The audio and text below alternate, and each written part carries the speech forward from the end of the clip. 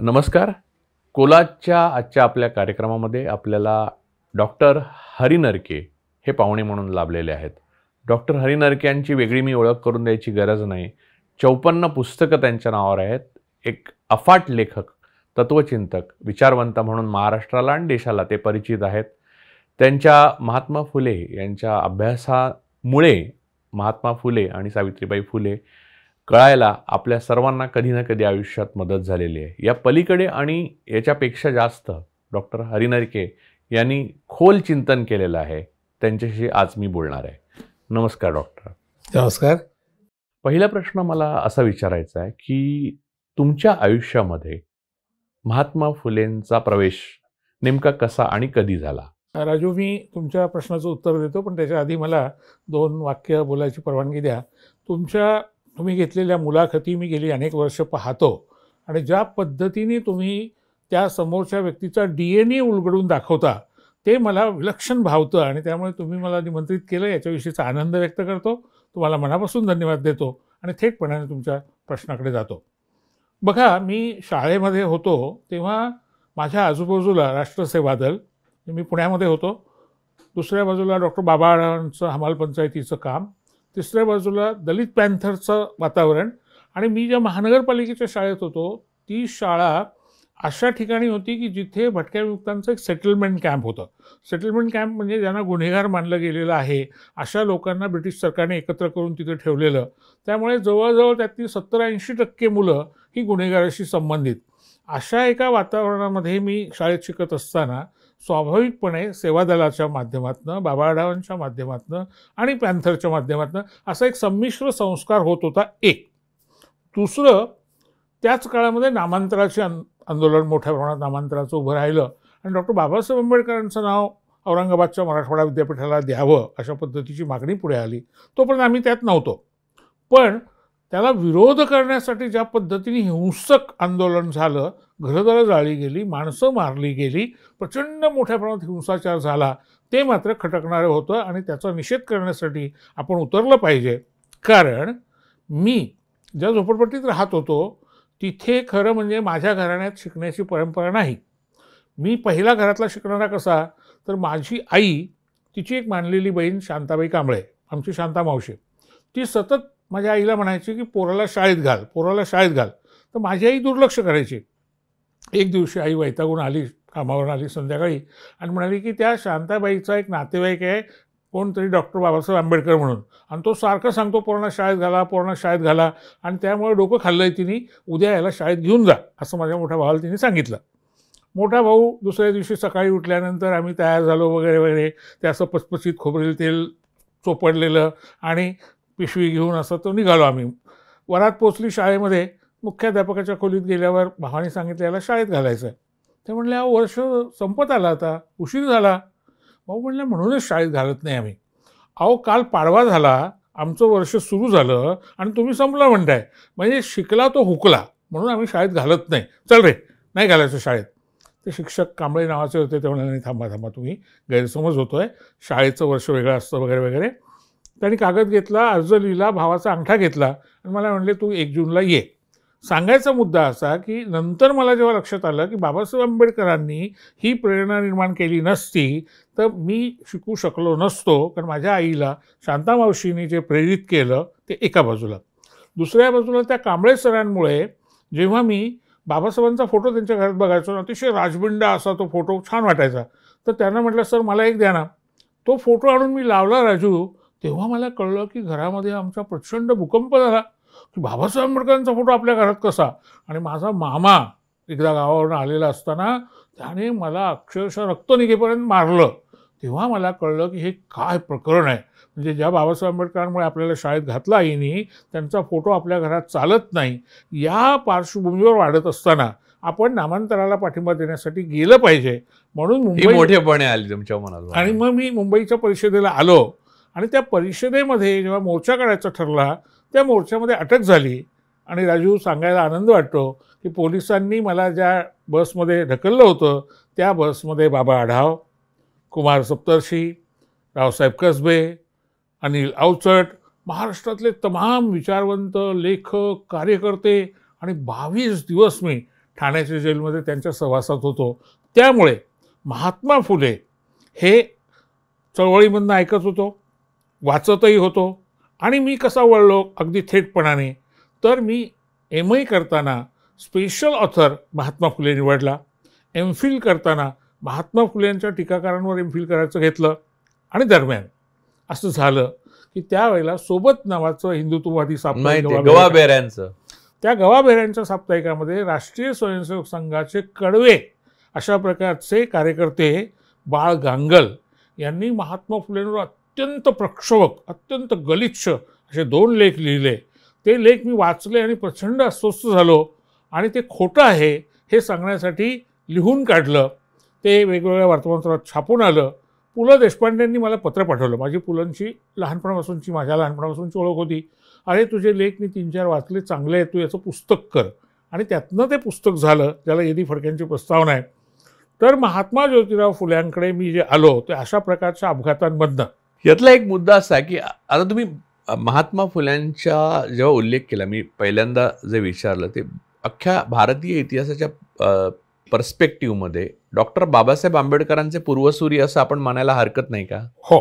बाबासाहेबांनी त्यांना गुरु म्हटलं आणि तुम्हाला मी आत्ता या मुलाखतीमध्ये एक नवी माहिती या निमित्ताने राजू सांगतो जी फारशी बाहेर नाही लोकांना. संशोधनामध्ये मला हे सापडलं की बाबासाहेबांचे वडील सुभेदार मेजर रामजी सकपाळ हे मिलिटरीमध्ये सैनिक होते हे सगळ्यांना माहिती आहे.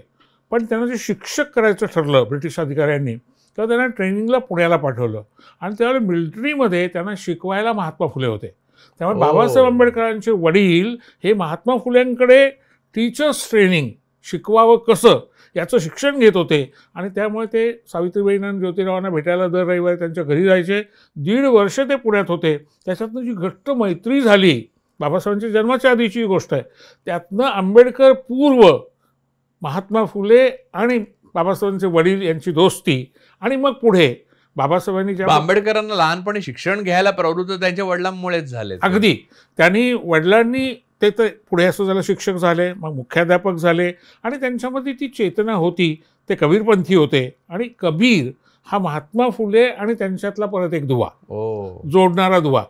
बुद्ध हा एक दुवा. तो नंतर आणखीन पुढे आला. मला काय वाटतं की ही माणसं कशी जोडली गेली याचं जेव्हा बघतो आपण. आणि तुम्ही अखिल भारतीय पातळीवर म्हणालात बघा आपण जर विचार केला तर अगदी आपला जो वारसा आहे तो चारवाकाचा बुद्धाचा महावीरांचा तिथपासून आपण पुढे येतो आणि मग आधुनिक काळामध्ये येतो. या सगळ्यामध्ये असं वाटतं की महात्मा फुले यांनी हे सगळं संचित शोधून काढलं आणि एक मोठं काम काय केलं? तर परंपरेतलं जे सत्व होतं ते लोकांसमोर मांडताना परिवर्तनाची काय गरज आहे? त्याची एक मांडणी करणारं सूत्र या देशाला दिलं. अगदी एकेका वाक्यात सांगतो पाच त्याची वैशिष्ट्य आहेत. पहिलं आहे ज्ञानार्जन क्रिएशन ऑफ नॉलेज नॉलेज म्हणताना ज्ञान आणि कौशल्य. दुसरं स्त्री पुरुष समता. तिसरं जाती निर्मूलन. आणि जाती निर्मूलनासाठी आंतरजातीय विवाहापासून संपूर्ण कार्यक्रम. चौथं त्यांनी अत्यंत शांतपणाने सांगितलं की जमीन जंगल हवा पाणी ही सगळी नैसर्गिक संसाधनं मुठभर लोकांच्या हातात आहेत आणि त्याचं फेरवाटप झालं तेव्हा पाहिजे. ग्लोबल वॉर्मिंग नसताना त्यांच्या लक्षात आलेलं क्लायमेट चेंजकडे जाईल जेव्हा. हा आणि पाचवं संवाद. पण संवादाने भागणार नाही वादविवाद त्यानेही भागणार नाही विद्रोह. आणि म्हणून फुल्यांनी जी मांडणी केली ती मला असं वाटतं की अशा प्रकारची सर्वंकष मांडणी होती. आणि म्हणून बाबासाहेब आंबेडकरांचे पूर्वसुरी बाबासाहेब त्यांना गुरु मानतात ते त्यामुळेच. त्याच्यात दुसरं अजून एक गंमत आहे की आपण शिवाजी छत्रपती शिवाजी महाराजांना त्यांच्या क्षात्रतेच्यासाठी ओळखतो म्हणजे देशभर. किंवा ते सोपं पण आहे दाखवणं की अफजल खानला मारला शाहिस्ते खानाला बोटं कापली वगैरे.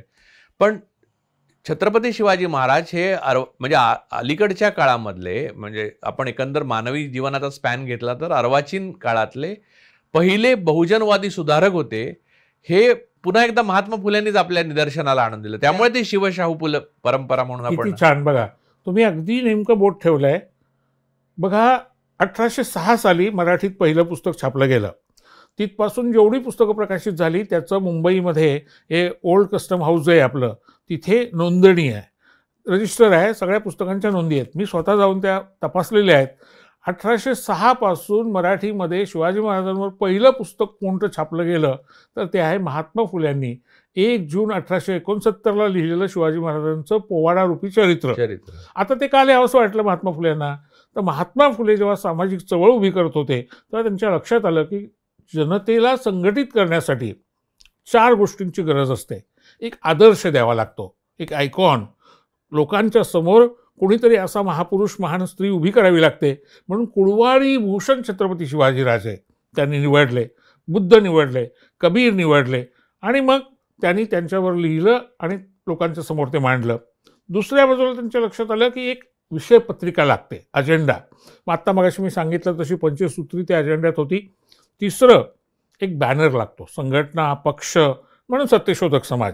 आणि त्याच्या आधी दोन संस्था त्यांनी स्थापन केल्या होत्या. एक होती फिमेल नेटिव्ह स्कूल्स स्त्रियांच्या मुलींच्या शिक्षणासाठीची संस्था. दुसरं the society for promoting education of Mahar Mangs and others म्हणजे नुसती शाळाने सुरू केली. एक इन्स्टिट्यूशनल मंडळीकरणाची चौकट निर्माण करून एक संस्थात्मक काम सुरू केलं.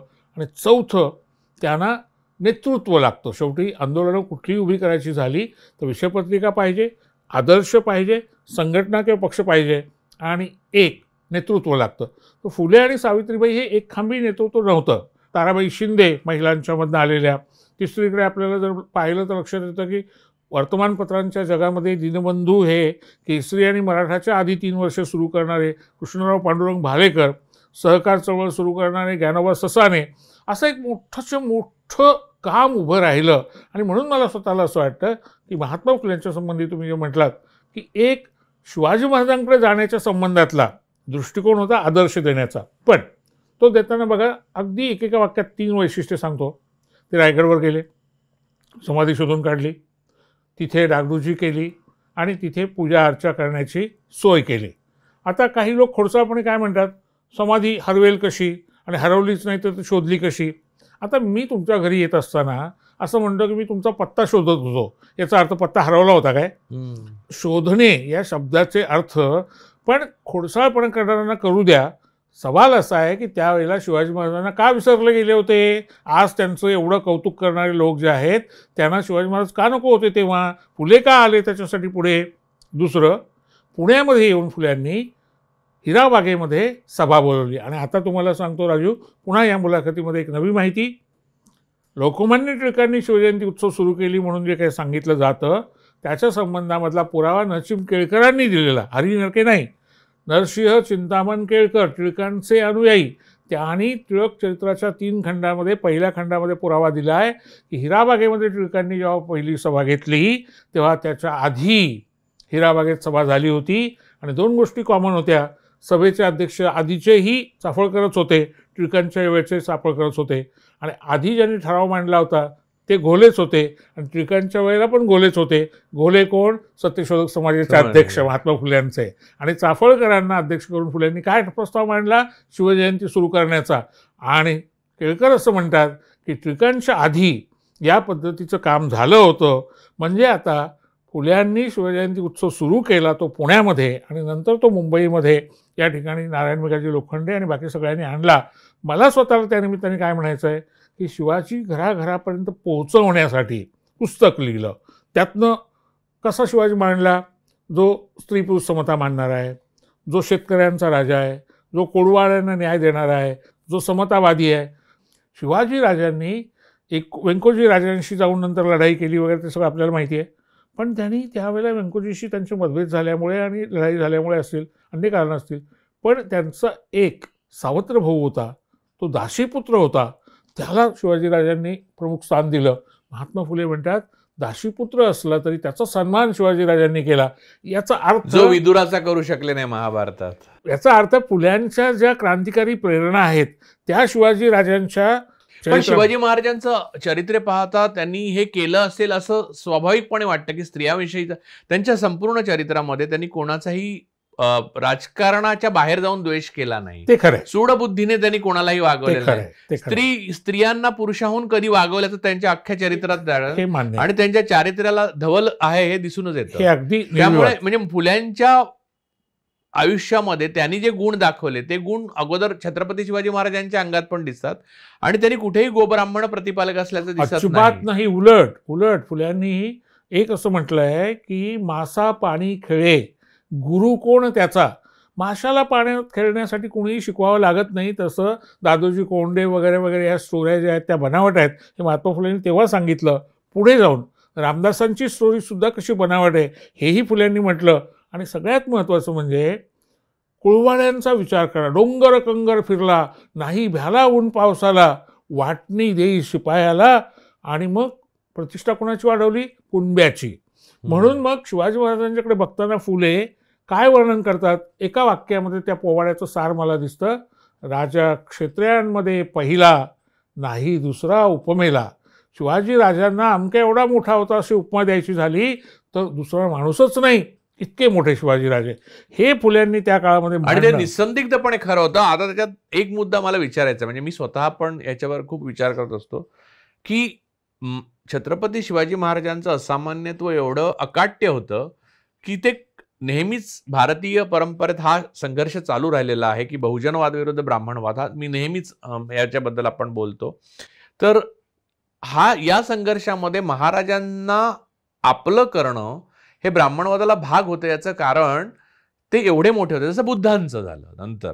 म्हणजे बुद्धांचं अगोदरच झालं होतं पण नंतर आता आपण ठळकपणे पाहतो की बुद्ध आमचे नववे अवतार आहेत. तसं अवतार कार्य करण्याकरता शिवाजी महाराजांना सावरकरांनी आपल्या सहा सोनेरी पाणीमध्ये काकतालीय योग म्हणून दैवी योगाच्या अंमलामुळे हा माणसाने अद्भुत कृत्य केली असं म्हटलंय. या उलट रघुनाथ राव म्हणजे शिवाजी अरे म्हणालेत आणि रघुनाथ राव राघोबा राघो भरारी असं करून अटकेवर अख्खी पानाच्या पानं लिहिली. शिवाजी महाराजांवर एक पान पण नाहीये नीटचं. हे आहे ना हा पक्षपात किंवा हा भेदभाव आपल्याला अगदी ठळकपणाने दिसतो आणि फुल्यांच्या बाबतीमध्ये मात्र असं जाणवतं की ज्या वेळेला कुणीही मराठी लेखक शिवाजीराजांवर लिहित नाही आहेत तेव्हा फुले लिहित आहेत आणि नुसतं लिहित नाही आहेत तर असं एक क्रांतिकारी चित्र शिवाजीराजांचं बहुजन समाजाला जागं करण्यासाठी उभं करतायत. त्यांच्या गुलामगिरीमध्ये राजू एक इंग्रजी प्रस्तावना पण आहे. मराठी प्रस्तावना ही खूप ॲग्रेसिव्ह आक्रमक आहे. इंग्रजी तुलनेने ब्रिटिशांना आणि इंग्रजी जाणणाऱ्यांना विषय काय तो समजावून सांगायचा आहे, त्यामुळे थोडी सौम्य आहे. पण त्यातसुद्धा असं म्हटलं आहे we know perfectly well that Brahmin will not descend from his self raised high pedestal and meet his Kunbi and low caste brothers on equal footing without struggle संघर्षाशिवाय आपले हितसंबंध सोडून ब्राह्मणी व्यवस्था खाली उतरेल आणि कुणब्यांना बरोबरीला घेईल हे शक्य नाही हे शिवाजीराजांच्या माध्यमातून माध्यमातनं फुले मांडतायत. आणि त्यामुळे ते अफजलखानाच्या संबंधीची मांडणी करताना सुद्धा त्या ठिकाणी असलेले अफजलखानाचे जे ब्राह्मण वकील आहेत त्यांच्याकडेही लक्ष वेधतायत. पण याच्यातली गंमत बघा राजू ही जी हिंदुत्ववादी विशेषतः सोकॉल्ड राष्ट्रीय स्वयंसेवक संघाची छावणी आहे ती काय करते जी मुळातच हिंदुत्वाचा धंदा करायला बसलेली आहे. त्या अगोदर हिंदू महासभा पण होती. व्यापार करायला बसलेली आहे हिंदुत्वाचा.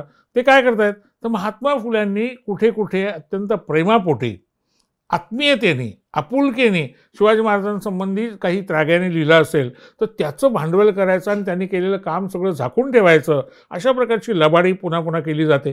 त्यातनंच बाळ लेखाला शीर्षक दिलं होतं शिवाजी राजांना शिव्या देणाऱ्या महात्म्याचे महात्मे तपासून पहा. मी गांगलांना भेटलो आणि त्यांना विचारलं कुठं शिव्या दिसलाय तुम्हाला? नाही म्हणे तो निरक्षर होता असं लिहिलंय. म्हटलं पण तो सगळ्यांचंच मत होतं त्यावेळेला. सगळ्याच इतिहासकारांना असं वाटत होतं जोपर्यंत त्यांचं अक्षर सापडलं नव्हतं. थोडक्यात काय बरं का? की हिंदुत्ववाद्यांनी नंतर शिवाजी महाराजांना जे काही त्यांचं अपहरण करून कब्जात घेतलं त्याचं पण परत राजू एक राजकीय आणि तात्विक कारण आहे. पहिलं महात्मा फुलेच म्हणतात ते हे काय करतात? तर ते पहिलं परिवर्तनवादावर तुटून पडतात आणि पूर्ण नामशेष करणे to hate hit and throw संपूर्ण नष्ट करायचं. नाही झालं. मग पुढे काय करायचं? मग पुढे त्यांनी फुलेंनी म्हटलं आहे की बदनाम करायचं. मोहिमा काढायच्या आणि अत्यंत गलिच्छ पातळीवर जाऊन चारित्र्य हनन करायचं. मग तरीही संपले नाहीत. मग काय करायचं? मग असं करायचं की ते आमचेच आहेत आणि आम्ही त्यांचेच आहोत अशा पद्धतीच्या भूमिका मांडायच्या. म्हणजे समतेच्या जागी समरसता हा शब्द येस. येस आणि त्यांचं अपहरण करायचं. तर त्यामुळे शिवाजी राजांचं असं अपहरण करणं भाग होतं. ते त्यांना करावं लागलं. पण फुल्यांनी अठराशे एकोणसत्तर साली ही मांडणी केली आणि एकच वाक्य सांगतो. त्यांचे मित्र होते इथे मुंबईमध्ये. बांद्र्याला राहायचे ते. मामा परमानंद. फार मोठा विचारवंत होता त्या काळातला.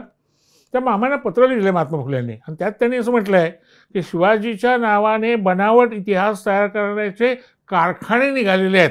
आणि पुढच्या काळात ते वाढणार आहेत. तेव्हा आता आता दिसतं. हा तो धोका मला दिसतो. म्हणून मी हे सगळं लिहितोय.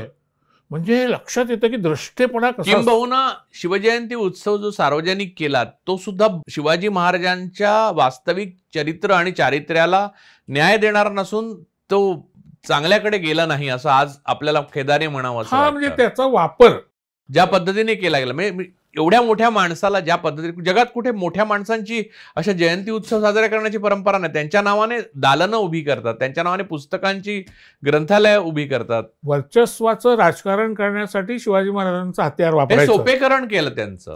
एवढे सोपे नाही आहेत शिवछत्रपती. कुणाच्या तरी विरोधात त्यांना उभं करून जे खरं नव्हतं. जे अजिबातच खरं नाहीये. हा. पण इथे दुसरा एक मुद्दा तो आपण पुन्हा एकदा करू की महात्मा ज्योतिराव फुलेंच्या आयुष्यामध्ये स्त्री पुरुष समानता हे महात्मा ज्योतिराव फुल्यांच्या आयुष्याचा एक महत्त्वाचा घटक आहे आणि त्यांच्या कामाचा पण तो एक मोठा घटक आहे. आणि त्यांनी जे केलं ते असाधारण होतं. म्हणजे स्वतःपासून केलं आणि मग दुसऱ्याला शिकवलं. तर सावित्रीबाईंचा किती वाटा आहे आणि त्यांनी जे बघा कसं आहे गुरु महान आपला नवराच आपला गुरु असणं ही अद्भुत गोष्ट आहे. पण तेवढा महान शिष्य पण पाहिजे आणि तेवढी महान स्त्री पण पाहिजे की बरोबरीचा दर्जा कोणी देऊन मिळत नाही बरोबरी घ्यायची पण हि- हिंमत लागते. तुम्ही सावित्रीबाईंचं आ- आकलन कसं करता? सावित्रीबाईंचा जन्म तीन जानेवारी अठराशे एकतीसचा. महात्मा फुले त्याच्या साडेतीन चार वर्षाआधी अकरा एप्रिल अठराशे सत्तावीसला जन्मलेले. त्यामुळे वयामध्ये फार फरक नाही. तीन साडेतीन वर्षाचा फरक. लग्न जेव्हा दहा वर्षाचं नऊ वर्षाचं वय सावित्रीबाईंचं त्यावेळेला झालेलं. फुले सुद्धा त्यावेळेला तेरा चौदा वर्षाचे आहेत. त्यावरनं त्या राज्यपालांनी चेष्टा पण केली हा होती. पिंगलटवाळी केली कारण ते काय ते गलिच्छच मानसिकता ती. तर मुद्दा असा तेव्हापासूनचं पुढचं सगळं सहजीवन जे आहे ते एका पातळीवर मैत्रीच्या प्रकारचं कसं होतं? तर बघा मी दोन तीन उदाहरणं देऊन जे म्हणायचं मला ते स्पष्ट करतो. सावित्रीबाईंनी आणि ज्योतिरावांनी जी सत्यशोधक विवाह पद्धती शोधून काढली ज्याच्यामध्ये हुंडा नाही मानपान नाही डामडौल नाही सगळ्यात महत्त्वाचं अत्यंत साधेपणाने नातेवाईक आणि मित्रांनी एकत्र जमायचं आणि एक आनंदाचा उत्सव करायचा.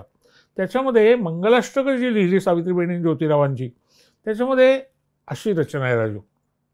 स्थापाया अधिकार बायकांचे सदा झटतसे मी अर्पायान भी किमपी ही सर्वस्व माझे कदा.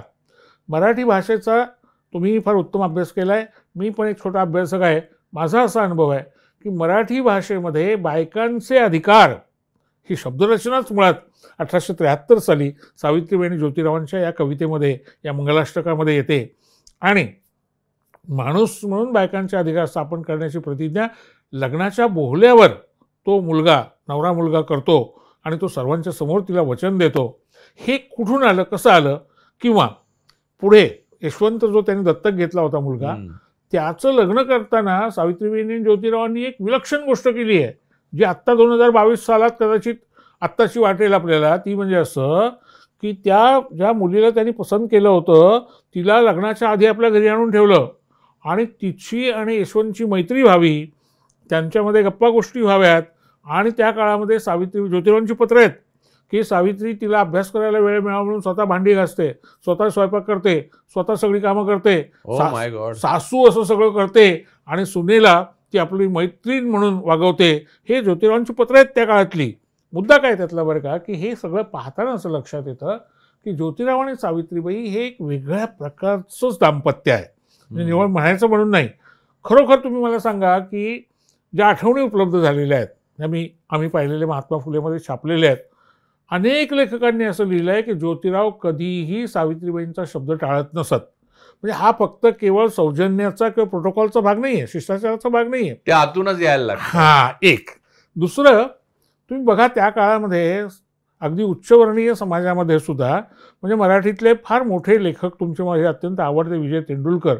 याने असं लिहिलं आहे की त्यांच्या बालपणी जेव्हा ते पुण्यात राहायला गेले तेव्हा त्यांची आई जेव्हा वडिलांच्या आणि मुलांच्या बरोबर चालायची रस्त्यावर तर ती शंभर फूट मागे असायची हो. आता या पार्श्वभूमीवर तुम्ही मला सांगा की सावित्रीबाईंनी ज्योतिरावांच्या सोबत शिकवायला बाहेर पडणं स्वतः येऊन शाळेत शिकवणं आणि नुसतं एवढं नाही सार्वजनिक जीवनामध्ये तृतीय रत्न हे मराठीतलं जे पहिलं सामाजिक नाटक फुल्यांनी लिहिलं त्या नाटकाचा शेवट काय आहे तर शेतकरी बायकोला सांगतो की आपण शिकलो नाही म्हणून फसवले गेलो तेव्हा आपण आजपासून रात्रीच्या शाळेत शिकायला जाऊया. ज्योतिरावांच्या शाळेत मी जातो सावित्रीबाईंच्या स्त्रियांच्या शाळेत तू जा आणि आता आपण निघूया. ती स्वयंपाक करते ती नवऱ्याला वाढते. तो म्हणतो तू पण घे आपण एकत्र जेवण करूया. भारतीय रंगमंचावर नवरा बायको सोबत जेवतात आणि हातात हात घालून शिकायला बाहेर पडतात. असं चित्र अठराशे चोपन्न सालामध्ये हे अत्यंत क्रांतिकारक आहे. त्याच्यानंतर सुद्धा पन्नास वर्ष सत्तर वर्ष नाही आहे मराठीमध्ये अजूनही नाहीये. हा खरं सांगायचं तर सुप म्हणजे आता बाह्य नेपथ्यामध्ये असेल कदाचित पण वास्तवामध्ये यायला अजून कठीण आणि आता परत आपण मागे जाण्याच्या- उलट्या पावलांचा प्रयत्न त्यामुळे अगदी. तुम्ही जो विचारला होता मुद्दा की सावित्रीबाईंकडे काय म्हणून बघतो कसं म्हणून बघतो मला असं वाटतं की खऱ्या अर्थाने हे दोघेही एकमेकांचे फ्रेंड फिलॉसॉफर गाईड आहेत. आणि हे केवळ ज्योतिरावांनी सावित्रीबाईंना घडवलं हे पण खरं नाही आहे कारण खुद्द ज्योतिरावांनी असं लिहिलं आहे की तीन प्रसंगांमध्ये Savitri was my leader she was my guide आणि ते कुठले प्रसंग आहेत ते? अत्यंत महत्त्वाचे आहेत. सत्यशोधक लग्न परंपरा सुरू केल्यानंतर पद्धती सुरू केल्यानंतर पहिलं लग्न जे लागलं ते सावित्रीबाईंच्या नेतृत्वाखाली लागलं. त्याचा खर्च सावित्रीबाईंनी केला. कारण सावित्रीबाईंच्या मैत्रिणीच्या मुलीचं लग्न होतं. पोलीस बोलवावे लागले होते. कारण भटजी नाही ना बोलवला त्याच्यातनं भटजी भडकले होते. मग त्या क्रांतिकारक लग्नाचं देशाच्या इतिहासातल्या शतकातल्या शतकांच्या इतिहासातलं एक वेगळं पाऊल त्याचं नेतृत्व सावित्रीबाई करतात ज्योतिराव लिहितात सी वॉज माय लीडर पुढे. बघा तुम्ही सावित्रीबाईंचं क्रांतिकारक पाऊल दुसरं. जेव्हा बालहत्या प्रतिबंधक ग्रह सुरू केलं ब्राह्मण विधवांच्या. बाळणपणाची सोय केली तेव्हा सावित्रीबाई स्वतः बाळणपण करतायत आणि त्यातल्याच एका काशीबाई नावाच्या ब्राह्मण विधवेचा मुलगा सावित्रीबाई दत्तक घेत आहेत आणि त्याला वारस करतायत. ते सगळं काम जे आहे ते सावित्रीबाईंच्या पुढाकाराने झालं असं ज्योतिराव नोंदवत आहेत. म्हणजे ज्योतिराव आपली बायको ही आपली म्हणजे चार पावलं काही बाबतीत पुढे निघून. अगदी ज्योतिराव असताना नंतर तर त्या होत्याच. त्या प्लेगमध्ये त्यांनी काम करताना त्यांनी स्वतः काम पण केलं. आणि तिसरा आणि अतिशय आणखीन ठळक असा मुद्दा की जेव्हा ब्राह्मण विद्वांचं केशवपन केलं जात होतं त्या काळामध्ये ते केस भांतरून लाल कापड गुंडाळायचं अलवण अलवण. अलवण. तर त्या याच्यामध्ये न्हाव्यांना मुंबईमध्ये आझाद मैदानावर एकत्र करून सावित्रीबाई त्यांना भाषण देत आहेत आणि हा शापाचा आणि पापाचा पैसा नको हे काम बंद करूया. आणि राजू मी थ्री होतो. लंडन टाईम्समध्ये या संपाची बातमी आहे. केसरीत नाही आहे बरं का? पण लंडन टाइम्समध्ये आहे पहिल्या पानावर आहे. केसरीत मला वाटतं महात्मा ज्योतिराव फुले यांच्या निधनाची पण बातमी पण बातमी. नाही. ज्या महात्मा फुलेंनी टिळकांना पहिल्या वेळेला जामिनाचे पैसे भरले होते दहा हजार. रुपये. दहा हजार रुपये. त्या जेव्हा दहा रुपये तोळा सोनं होतं त्यावेळेचे.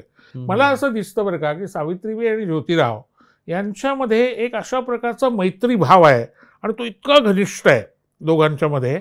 हे एक वेगळं रूप आहे. दुसरं ते एकत्र शिकलेत. म्हणजे ज्योतिरावांनी जरी शिकवायला सुरुवात केली असली तरी नंतर सावित्रीबाई आणि ते एकत्र त्यांचं वाचन ते सहवाचन करायचे. मुलं जी त्यांच्याकडे राहत होती त्या मुलांनी लिहिलेल्या आठवणी ज्या आहेत त्याच्यामध्ये त्यांनी असं लिहिलं आहे की रात्री चांदड्यामध्ये ज्योतिराव आणि सावित्रीबाई आम्हाला घेऊन बसायचे आणि चक्क भेंड्या खेळायचे गाण्याच्या. सकाळी सावित्रीबाई आणि ज्योतिराव आम्हाला घेऊन फिरायला जायचे आणि ते गोष्टी सांगायचे. यातनं एक लक्षात येतं की हे नवरा बायको हे काळाच्या तर पुढे होतेच. परंतु खऱ्या अर्थानं एक दाम्पत्य जीवनाचा आदर्श कसा असू शकतो? त्याचं एक ते उदाहरण होतं. गंमत म्हणजे मला इथे एक गमतीशीर गोष्ट मी स्वतः चिंतन करतो तेव्हा मला असं वाटतं की ब्रिटिश काळ हो-, अंमल होता. त्यामुळे तसा काही त्रास नव्हता. सधन माणसाला. आणि ज्योतिराव हे स्वतः सधन होते चांगले पैसे अडका होता. अशा वेळेला अशा क्रांतिकारकतेची बीज स्वतःच्या मनात अशी आग लागणं हे अत्यंत युनिक म्हणायला पाहिजे. अचंबित करणारं मला वाटतं. कारण आराम करून सुद्धा त्यांनी मस्त आयुष्य जगले असते. निरीक्षण राजू इतकं मार्मिक आणि महत्त्वाचं आहे बघा. म्हणजे अठराशे एकोणसत्तर साली टाटा उद्योग समूहाचा जो वार्षिक उलाढालीचा आकडा आहे. तो वीस हजार रुपये आहे. मी टाटामध्ये नोकरी केली आहे त्यामुळे मला ती सगळी माहिती आहे. तो मोठा आहे. वीस हजार ही त्यावेळची प्रचंड मोठी रक्कम आहे. पण महात्मा फुलेंची पुन्हा कमर्शियल अँड कॉन्ट्रॅक्टिंग कंपनी जी आहे तिचा अठराशे एकोणसत्तर साली तर जो उलाढालीचा आकडा आहे तो एकवीस हजार रुपये आहे.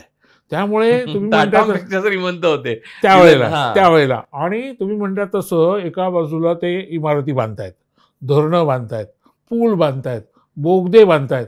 अगदी राजवाडा कापड गिरण्या म्हणजे लक्ष्मी विष्णू मिल सोलापूरची एवढ्या भव्य प्रकारची बांधकामं बरं नुसतं एवढं नाही आहे राजू पाच कामं आहेत.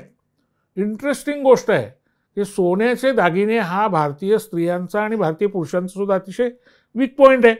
तर सोन्याचे दागिने बनवण्यासाठी जे मोल्ड्स लागतात त्याची संपूर्ण भारताची होलसेल एजन्सी महात्मा फुले यांच्या कंपनीकडे आहे. आता सोन्याचे दागिने आणि इमारती दगडधोंडे तिसरं पुस्तकं प्रकाशित करणे आणि पुस्तकं विकणे. त्यामुळे तुकाराम तात्या पडवळ यांनी बुद्धाच्या जीवनावर आणि विचारावर प्रकाशित झालेलं बुद्ध साहित्यातलं अत्यंत महत्त्वाचं पुस्तक ते जेव्हा मराठीमध्ये आणलं जातीभेद विवेकसार नावाने फुल्यांनी ते प्रकाशित केलेलं आहे.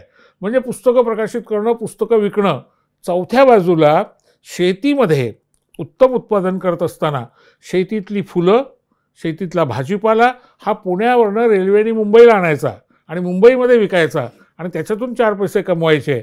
मला काय लक्षात येतं की एका बाजूला फुले हे पुणे शहराचे कमिशनर पण आहेत.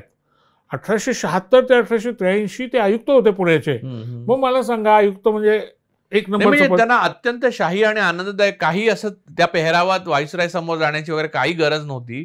आणि उत्तम आयुष्य इतकं सुखासीन जगता आलं असतं की आज ओरबाडून राजकीय पुढारी जेवढे पैसे कमवतात त्याच्यापेक्षा कित्येक पट जास्त सधन असणारा एक बहुजन समाजाचा नायक म्हणजे नायक म्हणून ते अदरवाईज पण जगले असते इतकं सुंदर आयुष्य होतं.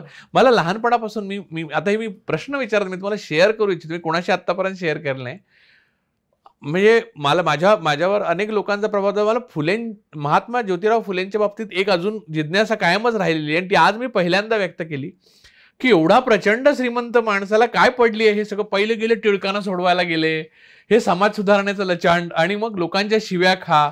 मोहम्मदांवर पै पोवाडा लिहिला त्यांनी. म्हणजे मोहम्मद पैगंबरावर हो, पोवाडा त्या मराठीमध्ये. लिहिला त्या काळामध्ये. छत्रपती शिवाजी महाराजांची समाधी शोधून काढ. म्हणजे ह्या ज्या गोष्टी आहेत ते सर्वसाधारणपणे लक्षात घ्या.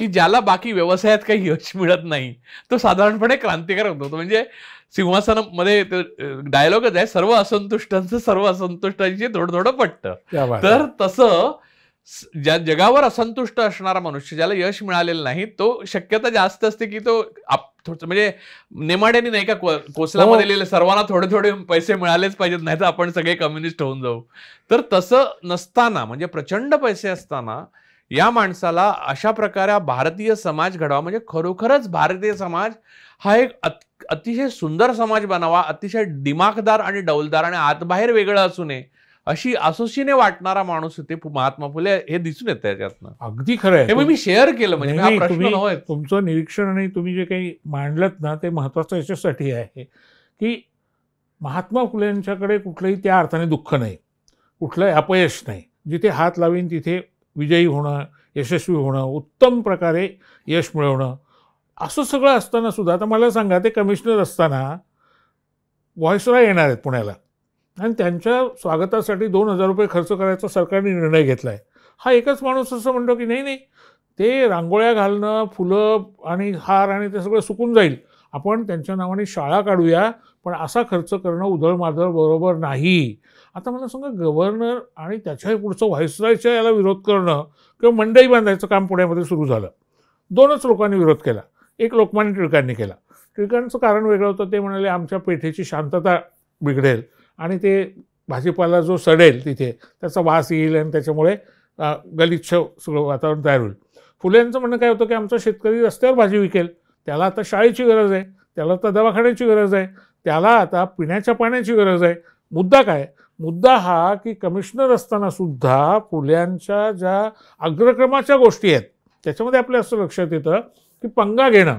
कोण सांगितलं खरं? म्हणजे आपण सुखाने मस्तपैकी मिळालेलं पद आता एवढं मोठं ते सांभाळावं ना? नाही. परिवर्तनाचा ध्यास आणि तुम्ही म्हणलात ते फार मार्मिक निरीक्षण आहे तुमचं हा समाज सुदृढ बनावा सुंदर बनावा. त्यातली कुरूपता जी आहे ती नष्ट व्हावी. ही कुठेतरी आज आणि त्या दगीपोटी ते सतत काम करतायत हे पुन्हा पुन्हा जाणवत राहतं. पण इथे बघा नरकेसर की तुम्हाला अजून एक गंमत मला अजून एक जा- जाणवलेली सांगतो आणि मग त्याच्यातला त्याच्यातनं एक माझ्या मनात प्रश्न उत्पन्न होतो तो सांगतो. ही परंपरा छत्रपती शिवाजी महाराज ते स्वतः राजे होते. त्यांना कोणाची गरज नव्हती विचार करण्याची. त्यांनी जेव्हा वाटलं तेव्हा धर्मामध्ये परिवर्तन करून घेतलेलं आहे लोकांना. उलट जे इन्कमिंग नाही आहे हिंदू धर्म न- धर्म नसल्यामुळे त्या अर्थाने तो तसा धर्म नसल्यामुळे इन्कमिंग नव्हतं. त्यांनी सरळ वाटलं तेव्हा कोणाला घेतलं. त्यामुळे ते राजे होते. तुम्ही बघा महात्मा ज्योतिराव फुले ते राजेच असल्यासारखे श्रीमंत. होते. राजर्षी शाहू महाराज ते तर राजेच होते. बरं डॉक्टर बाबासाहेब आंबेडकर ज्यांनी संविधानच लिहिलं त्यांनी इकडे तिकडे चार शब्द लिहिले असते तर आत्ता आपल्या आयुष्यातलं स्वातंत्र्य नष्ट म्हणजे हिंदू कोड बिल लिहिण्याची त्यांना काही गरज नव्हती. त्यांनी बुद्धांसाठी लिहिलं नवबौद्धांसाठी लिहिलं ह्या सगळ्या माणसांच्या आयुष्यामध्ये संपन्नता ही साम एक दिसतो की त्यांनी स्वतःच्या बळावर कर्तृत्वावर मिळवलेली संपन्नता होती. आणि ती इतकी होती की त्यांच्यासारखे तेच असेच संपन्न होते पण ते सुधारक होते. ते बदलाच्या बाजूचे होते. हे जे कोडं मला कधीच सुटलं नाही कारण मला नेहमी वाटतं की बहुजनवादाचे जे नायक आहेत ते स्वतःमध्ये तृष्णा नाही आहे त्यांना कसली. त्यांना मटेरियल म्हणजे भौतिक तृष्णा कसलीच नाही त्यांना समाज सुधारणा वगैरे. ह्या हा जो समान धागा दिसतो ह्याचा तुम्ही कधी असा विचार केला? अगदी छानच आहे बघा सूत्र. शिवाजी महाराजांचं एक पत्र आपल्याला सगळ्यांना माहिती आहे प्रसिद्ध येते की ते आपल्या सरदारांना म्हणजे हे गौतम बुद्धांपासून चालू आहे अगदी. खरं तर गौतम बुद्धांपासून आहे तो वारसा पण चारवाक बुद्ध महावीर कबीर तो आहे फार मोठा वारसा आहे आपल्याकडचा. पण आपण शिवाजी महाराजांपासून समजा सुरू केलं वेळेच्या मर्यादेमध्ये सोयीसाठी तरी काय दिसतं? त्या पत्रामध्ये महाराज काय म्हणतात? पाऊस सुरू झाला आहे पेरण्यांचे दिवस आहेत. तुम्ही घरात बसू नका बांधावर जा. शेतकरी पेरणी करतोय की नाही बघा. त्याला पेरणी करताना काही अडचणी आहेत का बघा? जर का त्याच्याकडे बियाणं नसेल तर ते बियाणं खरेदी करण्यासाठी आपल्या तिजोरीमधनं ट्रेझरीमधनं त्याला पैसे द्या. आणि पुढे महाराज असं म्हणतात की जेव्हा त्याचं पीक येईल तेव्हा त्याच्याकडनं फक्त मुद्दल आणि ते हप्त्या हप्त्याने वसूल करा. त्याच्याकडनं व्याज घेऊ नका. मला सांगा त्या काळामध्ये शून्य टक्के दराने शेतकऱ्यांना कर्ज देण्याची कल्पना कुणब्यांचा राजा कोळवड्यांचा राजा शेतकऱ्यांचा राजा. आणि मी शेतीचा प्रश्न का घेतो राजू? तो समाज सुधारण्याच्या संदर्भात तो महत्त्वाचा आहे. ज्या वेळेला पंच्याण्णव टक्के लोक शेतीवर अवलंबून होते त्यामुळे तो सगळ्या देशाचा प्रश्न होता. आणि त्यामुळे शिवाजी महाराजांकडे बघताना तुम्ही सांगितलं तसं धार्मिक बाबतीमध्ये महिलांच्या धान्याच्या कोठारापासून शेतकऱ्यापर्यंत सातत्यपूर्ण आणि या सगळ्या दगदगीच्या आयुष्यात कशाला मी हा विचार करू? असा एकदाही त्यांना डिप्रेशन आलेलं निसर्गाबद्दलचं झाडांबद्दलचं प्रेम म्हणजे इतक्या घोड्यांबद्दलचं प्रेम.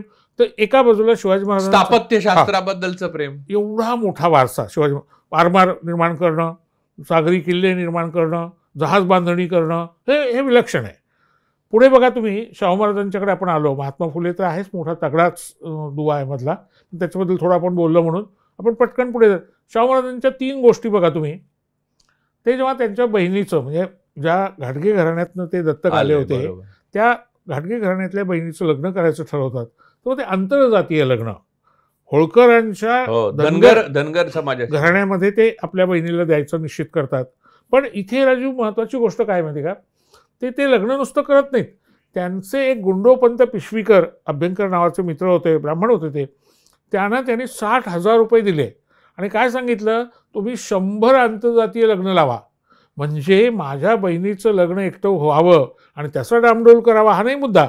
तर समाजामध्ये आंतरजातीय एकजिन्सीपणा येण्यासाठी अभिसरण निर्माण करणे आंतरजातीय विवाहाची संपूर्ण एक लाट निर्माण करावी वातावरण निर्माण करावं हे एक. दुसरं बघा तुम्ही गाव तिथे शाळा आणि गाव तिथे ग्रंथालय. आता या घोषणा खरं म्हणजे आजच्या घोषणा आहेत. पण शाहू महाराजांनी एकोणीसशे सतरा साली सक्तीचा शिक्षणाचा कायदा केला आणि मी तुम्हाला पुराव्यानिशी सांगतो एकोणीसशे वीस साली जेव्हा ब्रिटिश सरकार अतिशय तगडं होतं मजबूत होतं मुंबई प्रांत ज्याच्यामध्ये गुजरात होता महाराष्ट्र होता कर्नाटक होता सिंध होता प्रचंड मोठा तो. त्या मुंबई प्रांताच्या बजेटमध्ये इंग्रज सरकारने शिक्षण या विषयासाठी सत्तर हजार रुपये राखून ठेवले होते. हो. तेव्हा शाहू महाराजांनी टिकली एवढ्या कोल्हापूरसाठी एक लाख रुपये ठेवले होते. म्हणजे कोल्हापूर राज्याच्या बजेटच्या तेवीस टक्के शिक्षणावर खर्च करणारा हा राजा कारण शिक्षणाशिवाय परिवर्तन नाही. हे आणि अजूनही त्यामुळे बघा कोल्हापूरमध्ये तुम्हाला वेगळा फील येतो. येस अजूनही तिथे वेगळे म्हणजे वेगळं आहे. ते अभिसरण अजूनही ते चालू राहतं. हे कोल्हापूरमध्ये गेल्यावर लगेच कळतं. ते असं कळणार नाही. सहकार चळवळ बघा तुम्ही. तिथलं अगदी गोकुळ दूधपासून सगळं जर पाहिलं जाती व्यवस्थे किंवा धर्माबाबतची भावना धार्मिक धार्मिक तेढ निर्माण करण्याचा प्रयत्नच शक्य होऊ शकत नाही तुम्हाला. व्यापार कोल्हापूर. पेठाने यांनी निर्माण केल्या. कलेची साधनं करण्याचं वातावरण तयार केलं. क्रीडा तर आहेच आहे. मी एकच तिसरं आणि त्यांचं ठळक वैशिष्ट्य सांगतो. मला याचं कौतुक वाटतं. एकोणीसशे दोन सालचं त्यांचं भाषण आहे. ते म्हणतात की Radhanagari is my dream project आणि मला सिंचन शेतकऱ्यासाठी निर्माण करायचं आहे. आणि त्यावेळेला नऊ लाख रुपये खर्च करून ते चौदा टक्के कोल्हापूर सिंचित करतात. आज महाराष्ट्रासारख्या सर्वात प्रगत राज्यामध्ये साठ वर्षानंतर आपण चौदा टक्क्यापर्यंत पोहोचलो आहे शाहू महाराज एकोणीसशे एकोणीसच्या काळामध्येच राधानगरीच्या माध्यमातून म्हणजे इतकं शिक्षणापासून पार धरणापर्यंत आणि मग इथे. वाक्य काय माहिती आहे वाक्य असं की जर आम्ही ग्रामीण भागामध्ये उद्योग निर्माण केले नाहीत ग्रामीण भागामध्ये व्यापार निर्माण केला नाही तर हीच मुलं ह्याच मुली शहरात जातील. तिथे झोपडपट्टीत राहतील. रोजगार मिळणार नाही. आरोग्य बिघडलेलं असेल. आणि त्याच्यातून महाराज म्हणतात गुन्हेगारी वाढेल आणि शहरांचं संपूर्ण आरोग्य आणि सामाजिक व्यवस्था कोलमडून पडेल. एकोणीसशे दोन सालचं हे भाकीत. आता ती धागा सरळ सरळ डॉक्टर बाबासाहेब आंबेडकरांपर्यंत आंबेडकरांपर्यंत येतो. येतो. येतो. अगदी येतो. म्हणून तर डॉक्टर आंबेडकरांना जेव्हा बातमी कळवण्यात आली. ते तेव्हा तिकडे शिकत होते इंग्लंडमध्ये शाहू महाराज गेल्याचं. तर त्यांनी पत्र जे लिहिलं आहे की कोण होते शाहू महाराज? तर ते असं म्हणतात pillar of the social democracy. भारताच्या सामाजिक लोकशाहीचे शाहूराजे हे आधारस्तंभ होते. आणि म्हणून इंटरेस्टिंग गोष्ट अशी की शाहू राजांच्या आणि बाबासाहेबांच्या मधल्या मैत्रीच्या संबंधातली एक नवी माहिती या निमित्ताने सांगतो. माणगावला बोलवलं आपल्याला माहिती आहे. शाहू तिथे बाबासाहेबांचं भाषण झालं आपल्याला माहिती आहे. तिथे शाहूराजे म्हणाले की हे नोकरी करतात सरकारची मला आवडत नाही म्हणे. बाबासाहेबांनी राजीनामा दिला. प्राध्यापक होते ते सिडनेमध्ये. नोकरीचा राजीनामा दिला लगेच त्याच आठवड्यामध्ये. पुढे वर्तमानपत्र काढायला मदत केली. मुकनायक काढलं. परदेशी शिक्षण अर्धवट राहिलं होतं त्याला मदत केली. आता इंटरेस्टिंग गोष्ट काय माहिती का या काळामध्ये? बाबासाहेबांनी शाहू राजांच्या वाढदिवसाचा मुकनायकचा विशेषांक काढायचा ठरवला. पत्र लिहिलं त्याने. शाहूराजांना मी येतो आहे तुमची मुलाखत घ्यायची आहे मला. मला काही फोटो लागतील आणि मला विशेषांक करायचा आहे. आणि त्याच्यामध्ये बघा शाहू राजांची जन्मतारीख त्यांच्या अधिकृत चरित्रकार लठ्ठ्यांपासून पार येदी फडक्यांपर्यंत सगळ्यांनी धनंजय किरांपासून रमेश जाधव जयसिंगराव पवारांपासून अगदी मी सुद्धा सव्वीस जुलै आम्ही लिहायचो. पण बाबासाहेबांच्या या पत्रामुळे आम्हाला पण कळलं की नाही ती सव्वीस जून आहे. कारण बाबासाहेबांनी लिहिलं आहे की येत्या सव्वीस जूनला तुमचा वाढदिवस आहे. हा त्या मुकनायकचा विशेषांक आणि मला विशेषांक काढायचा आहे. आणि मग आमच्या डोक्यात प्रकाश पडला का रे बाबासाहेबांनी सव्वीस जून का म्हटलं? आणि मग जेव्हा दरबारची कागदपत्र तपासली राजकुमार विद्यालय राजकोटला ते जे शिकले तिथली कागदपत्र पाहिली. आमचे खांडेकर नावाचे मित्र ते आता नाही आहेत. त्यांची मला आठवण येते. त्याने याच्यामध्ये मोठं काम केलं. आणि मला लक्षात आलं की सव्वीस जूनच आहे. तर शाहू राजांचा वाढदिवस हा सण उत्सव म्हणून साजरा करा असं बाबासाहेब म्हणतात. बाबासाहेब विभूतीपूजक नाही आहेत. तेव्हा फुले शाहू आंबेडकर शिवाजी महाराजांपासूनचा जो धागा आहे ना तो असा जैविक आहे. आता मला तुम्हाला तीन महत्त्वाचे प्रश्न वेगवेगळे विचारायचे आहेत. इतर आहेत पण तीन महत्त्वाचे आहेत. त्यामुळे मी ते इतके डोक्यात ठेवलेत. पहिला प्रश्न हा की तुम्ही शिक्षण क्षेत्राशी एवढे संबंधित आहात. या आपल्या महानायकांची ज्या प्रकारे ओळख करून द्यायला पाहिजे म्हणजे छत्रपती शिवाजी महाराजांच्या पुस्तकामध्ये मी लहानपणीपासून वाचलं महात्मा फुलेंचं पण वाचलं धडे होते पुस्तकांमध्ये किंवा डॉक्टर बाबासाहेब आंबेडकरांबद्दल सगळीकडे ओळख सगळी झाली. परंतु ज्या पद्धतीने अभ्यासक्रमामध्ये मुलांच्या मनात ओळख करून द्यायला पाहिजे त्या पद्धतीने आपण गेल्या आठ वर्षांचं आपण बाजूला ठेवू. त्याच्यावर बोलण्यासारखं भरपूर आहे. पण एकंदरीतच स्वातंत्र्योत्तर काळामध्ये आपण नीट ओळख करून दिली नाही. असं माझं मत आहे. तुमचं मत तसं आहे का? मी तुमच्याशी एकशे एक टक्के सहमत आहे. त्याचं कारण शिक्षण हे परिवर्तनाचं आणि सांस्कृतिक राजकारण पुढे नेण्याचं सगळ्यात महत्त्वाचं धारदार शस्त्र असतं. हे जे महात्मा फुले शाहू महाराज बाबासाहेब आंबेडकर मानत होते ते सूत्र बहुजन सत्तेवर आल्यानंतर महाराष्ट्रामध्ये एकोणीसशे छप्पन छप्पन साली सत्ता परिवर्तन झालं आणि त्या सत्यशोधक चळवळीचा त्याच्यामध्ये मोठा वाटा आहे. महाराष्ट्रामध्ये संयुक्त महाराष्ट्रामध्ये पण वाटा आहे. अगदी. पेशवाईची सगळी मानसिकता असताना तिथून बहुजनांचं राज्य येणं हे सगळं घडण्यामध्ये फुले शाहू आंबेडकर या सगळ्यांचा प्रचंड प्रबोधन करा ठाकरे आणि सगळ्यांचा प्र कर्मवीर भाऊराव पाटलांचा पंजाबराव देशमुखांचा मोठा वाटा आहे. दुर्दैवाने इथल्या राज्यकर्त्यांनी ज्या प्रकारे इथल्या अभ्यासक्रम तयार करण्याकडे शिक्षणाच्या कामाकडे लक्ष द्यायला पाहिजे होतं ते दिलेलं नाही. अगदी परवा परवापर्यंत शिक्षण मंत्री हा अत्यंत दुय्यम माणूस असेल. हा म्हणजे दुःखी व्हायचे माणसं. मी बघितलेलं आहे. मी काँग्रेसच्या काळामध्ये सुद्धा बघितलंय. नंतर आघाडीच्या काळामध्ये सुद्धा बघितलं ज्याला शिक्षण मंत्रीपद मिळतं तो दुःखी असतो.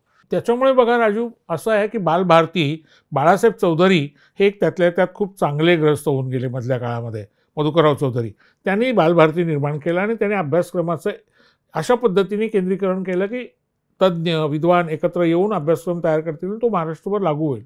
आज बालभारतीसारखी आपली जी प्रकाशन संस्था आहे किंवा पाठ्यपुस्तकं तयार करणारी संस्था आहे मी मधल्या काळात काही काळ काम केलं त्याच्यावर जेव्हा काँग्रेस राष्ट्रवादीचं सरकार होतं. आह साळुंखे आमचे अध्यक्ष होते. कॉम्रेड गोविंद पानसरे शाहीर संभाजी भगत अब्दुल कादर मुकादम असे काही आम्ही लोक एकत्र येऊन थोडी थोडीच वर्ष होतो पण काम करत होतो. लक्षात काय आलं? की बारा बारा कोटी पुस्तकं दरवर्षी बालभारती प्रकाशित करते. जगातली सगळ्यात मोठी प्रकाशन संस्था. आणि ती मुलांवर मुलींवर संस्कार करते. त्याच्याकडे ज्या प्रकारे गांभीर्याने बघायला पाहिजे होतं तसं बघितलं गेलं नाही. मला असं वाटतं त्यामुळे भारतीय राज्यघटनेच्या समता स्वातंत्र्य बंधुता न्याय धर्मनिरपेक्षता स्त्री पुरुष समता या मूल्यांचा जो ध्येयवाद आहे तो ध्येयवाद आपल्या शिक्षणामधनं आलाच नाही. आणि म्हणून फुले शिक्षणामध्ये ठिकऱ्या उडल्या. मला तर आठवत आहे की आता काल अफजल खानांचं वधाचा काहीतरी दिवस होता. म्हणजे तो महत्त्व तर महाराजांच्या आयुष्यातले अनेक महत्त्वाचे दिवस आहेत. त्यातला तो एक आहे. पण महाराजांच्या बद्दल शिकण्यासारखं अब्दुल खानाचा वध केला हा नव्हे. त्यांच्या आयुष्यात त्यांनी अनेक लोकांना मारले. त्यांच्या शत्रूंचं निर्दालन केलं. त्यांची जी दृष्टी होती त्यांनी आरमार बनवलं त्यांनी शेतकऱ्यांविषयीचा विचार केला हे कधीही मी पुस्तकांमधनं वाचलेलं नाही. हे शालेय पुस्तकातनं अवाक्षर मला मिळालं नाही. मी महात्मा ज्योतिराव फुल्यांवरचा जो पहिला धडा वाचलेला मला आठवतं त्यांना मारायला मारेकरी आले आणि ते त्यांनी आपलेसे कसे केले हा धडा होता. हा महात्मा फुलेंच्या चरित्राचा अर्थ नाही आहे म्हणजे जो विद्यार्थ्यांना शिकवायला पाहिजे. याहून वेगळ्या कारणासाठी महात्मा फुले शिकवायला जायला पाहिजे होते त्याचंही नाही. डॉक्टर बाबासाहेब आंबेडकरांनाही तसा मी शिकलेलो नाही त्यामुळे या ज्या गोष्टी आहेत त्याचा परिपाक म्हणून मला दुसरा एक दुसरा प्रश्न जो माझा आहे तो त्याच्यावरच आधारलेला आहे. दुसरा प्रश्न असा आहे की या बहुजनवादाचा जो जो घट्ट वीण आहे त्याच्यामध्ये आंबेडकरी चळवळ आणि इतर बहुजनवाद अशी फूट पडली ती का पडली असं तुम्हाला वाटतं? मला असं वाटतं खरं तर असं नाहीच आहे कारण तो सलग धागा आहे. मला तर असं कधीही दिसलेलं नाही की त्याच्यात काही अंतर आहे. डॉक्टर बाबासाहेब आंबेडकरांना त्या अभिप्रेतच नव्हतं असं कधी. बघा तुम्ही बाबासाहेब आंबेडकरांनी एकोणीसशे शेहेचाळीस साली हू वेर दी शुद्राज नावाचा ग्रंथ लिहिला जो आजच्या भाषेत बोलायचा तो ओबीसींबद्दलचा आहे. म्हणजे बारा बलुतेदार अठरा अलुतेदार माळी साळी सुतार धनगर वंजारी या कष्टकरी जातींबद्दल ज्याला आपण निर्माण आणि कुणबी मानले तर तेही त्याच्यात ते. ते अर्थातच म्हणजे ते मराठा असं म्हणलं तर कुणबी- नाही कुणबी आहेतच. कुणबी महत्त्वाचंच आहे त्यातले. या सगळ्यांच्या बद्दल बाबासाहेबांनी शेहेचाळीस साली ग्रंथ लिहिला आहे आणि बाबासाहेबांनी नुसतं तेवढं नाही केलं. बाबासाहेबांनी जेव्हा केंद्रीय मंत्रिमंडळाचा राजीनामा दिला हिंदू कोड बिलाच्या मुख्य प्रश्नावर तेव्हा त्या राजीनाम्यामध्ये तो आम्ही छापला आहे त्यांच्या समग्र साहित्यामध्ये. पाच कारणं आहेत. त्यातलं दुसरं कारण हे ओबीसींना न्याय मिळाला नाही म्हणून एक्कावन्न साली डॉक्टर आंबेडकर राजीनामा देत आहेत. महात्मा फुल्यांचा पुण्यामध्ये पुतळा उभा करावा म्हणून एकोणीसशे पंचवीस साली सुरू झालेला संघर्ष एकोणसत्तर सालापर्यंत चालू होता आणि एकोणसत्तर साली पुतळा बसला. पण देशातला पहिला महात्मा फुलेंचा पुतळा नाशिकमध्ये डॉक्टर आंबेडकरांच्या हस्ते एकोणीसशे एक्कावन्न साली बसलेला आहे. मुद्दा काय त्यातला? डॉक्टर आंबेडकरांच्या फुल्यांबद्दलच्या शाहू महाराजांबद्दलच्या शिवाजी महाराजांबद्दलच्या एकूण बहुजनवादाबद्दलच्या मांडणीकडे. लक्ष इथल्या लोकांचं गेलं नाही किंवा ते जाऊ दिलं गेलं नाही. आणि फक्त दलितांचे नेते दलितांचे नेते असं त्यांचं एक चित्रण केलं गेलं हा एक मुद्दा. दुसरा मला स्वतःला असं वाटतं की जेव्हा गावगाडा नावाची गोष्ट असते त्या गावगाड्यामध्ये गावकुसा बाहेरचे म्हणून अतिशूद्रा. हां अतिशूद्र किंवा ज्यांना अस्पृश्य सुद्धा म्हटलं गेलं मग त्याच्यामध्ये अर्थात आता आदिवासी पण जंगलातले भटके भटके विमुक्त. भटके विमुक्त पण आहेत बाकीचे पण लोक आहेत. मला असं दिसतं की जेव्हा सत्तेचं परिवर्तन इथे झालं आणि सत्यशोधक समाजामुळे आणि या सगळ्यामुळे हे परिवर्तन खरं आंबेडकरी चळवळ होती हा. तोपर्यंत. अगदी. म्हणजे संयुक्त महाराष्ट्राच्या आंदोलनामध्ये स्वतः डॉक्टर बाबासाहेब असेपर्यंत तर ते संयुक्त महाराष्ट्राच्या चळवळीत सुद्धा होते म्हणजे आणि संयुक्त महाराष्ट्राच्या आंदोलनामध्ये डॉक्टर आंबेडकरांचं जे योगदान आहे त्याच्यावरची त्यांची पुस्तकं वाचल्यानंतर असं लक्षात येतं की मुंबई कुणाची? असा जेव्हा वादाचा प्रश्न निर्माण झाला त्याचं तार्किक आणि तात्विक उत्तर फक्त आंबेडकरांनी दिलेलं आहे. त्याने असं म्हटलं की मुंबई महाराष्ट्राची का? तर ते असं म्हणाले की कोणतंही शहर कोणाचं हे ठरवण्याचे चार निकष असतात. पहिला निकष हा असतो की त्या शहराला पाणी कुठून मिळतं? ते महाराष्ट्रातनं मिळतं मुंबईला. वीज कुठून मिळते? महाराष्ट्रातनं मिळते. मजूर कष्टकरी कामगार इथला जो श्रमिक वर्ग आहे तो कुठला आहे? महाराष्ट्रातला आहे. आणि मग ज्याला भौगोलिक सलगता म्हणतात ती कोणत्या राज्याशी आहे? त्या महाराष्ट्राशी आहे मुंबईची. बाबासाहेबांनी हे सिद्ध करताना एक अत्यंत महत्त्वाचा पुरावा पुढे आणला. ते म्हणले गुजराती लोकांना ब्रिटिशांनी करार करून मध्यस्थ हवेत दलाल हवेत म्हणून आणलेलं आहे. ते स्वतःहून आलेले नाहीत. ब्रिटिशांचा करार बाबासाहेबांनी उद्धृत केला आहे आणि ती सगळी मांडणी केली आहे. माझं म्हणणं काय? माझं म्हणणं असं की संयुक्त महाराष्ट्रातले डॉक्टर आंबेडकर किंवा एकोणीसशे किंबहुना धनंजय किरांच्या चरित्रात तर रिपब्लिकन पार्टी स्थापन करतोय तुम्ही माझ्या पार्टीत यावं अशी इच्छा असं अत्र्यांना पत्र लिहिलेलं आदल्या दिवशी लिहिलं होतं मृत्यूच्या. म्हणजे पाच तारखेला त्यांनी पत्र लिहिलं होतं. अत्र्यांना एस एम जोशींना आणि मधुलिमाईंना या सगळ्यांना ते बरोबर घेण्याच्या दृष्टीने प्रयत्न करतायत. बघा एकोणीसशे एकोणीस सालचं राजू बाबासाहेब आंबेडकरांचं शेतकऱ्यांच्या प्रश्नावर पुस्तक आहे. Small holding in India and their remedies आणि तुम्हाला आश्चर्य वाटेल त्या पुस्तकाचं पहिलंच वाक्य असं क्रांतिकारक आहे. की शेती हा जगातला सर्वात प्राचीन उद्योग असला तरी अजूनही त्याला उद्योगाचा दर्जा मिळालेला नाही. आणि मग शेतीची सुधारणा केल्याशिवाय या देशाचं अर्थकारण सुधारू शकत नाही. आणि मग शेतीला पाणी बाजारभाव शेतीमधलं शेतकऱ्यांचं त्यांनी ते म्हणतात की ओझं जे आहे बर्डन जे आहे ते बाजूला केलं पाहिजे. म्हणून शेती सोडली पाहिजे. एकाच मुलीने किंवा मुलांनी शेती केली पाहिजे. आणि बाकीच्यांनी व्यापारात उद्योगात शिक्षणात गेलं पाहिजे. हे सगळं डॉक्टर आंबेडकर एकोणीसशे एकोणीस साली मांडतात. पण मग आंबेडकरी चळवळ बाबासाहेबांच्या नंतर डॉक्टर बाबासाहेबांच्या मृत्यूनंतर हळूहळू डॉक्टर बाबासाहेबांच्या मृत्यूनंतर असं मी म्हणणार नाही. मी म्हणेन की संयुक्त महाराष्ट्राच्या नंतर ती मुख्य बहुजनवादाच्या प्रवाहापासून दूर गेली ते का झालं? त्यात फूट पडल्याचं दिसतं. म्हणजे आजही लिहिताना मला असं जाणवतं की या कॅम्पमधनं वेगळ्या पत प्रतिक्रिया आहेत आणि तिकडून दोन कॅम्प झालेत सरळ. हे नामांतराच्या लढ्यापर्यंत पण नव्हतं. हे अगदी खरं आहे की माझ्यासारख्याला जो गेली अनेक वर्ष या चळवळीमध्ये काम करतोय त्याला हे फार प्रकर्षाने जाणवतं. आणि ही वेदना किंवा ही टोचणी जी आहे बोचणी जी आहे ती सतत समोर असते. बघा तुम्ही बाबासाहेबांनी शेतकऱ्यांच्या प्रश्नावर लिहिलं. हे सांगायला आंबेडकर चळवळीतले विचारवंत का नाही पुढे आले? लेखक का नाही पुढे आले? जबाबदारी होती प्रबोधनाची. ओबीसींच्या प्रश्नावर बाबासाहेबांनी राजीनामा दिला. ओबीसींच्या प्रश्नाच्या संबंधामध्ये बाबासाहेबांनी उभेरदी शुद्रासारखा ग्रंथ लिहिला आणि राजकारण.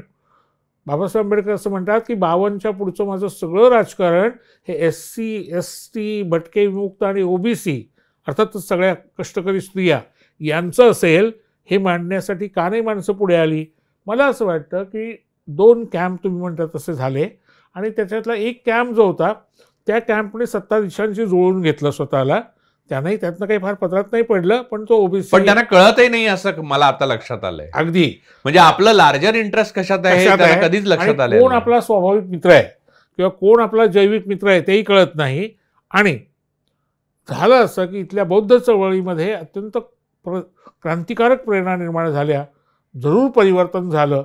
पण बाबासाहेब आमचे आणि आम्ही बाबासाहेबांचे या भावनेपोटी असेल आत्मीयतेपोटी असेल पण झालं असं की आमचे आमचे आमचे करताना तो वेगळाच किल्ला झाला. आपले बाबासाहेब हे हे गेलं. कुठेतरी गेलं आणि त्याचा दुष्परिणाम असा झाला की आमच्यासारखे लोक जेव्हा बाबासाहेबांच्या समितीवर मी काम करायला लागलो आणि हे सगळं वाचून मांडायला लागलो तेव्हा असं लक्षात आलं की हे बाबासाहेब वेगळे आहेत.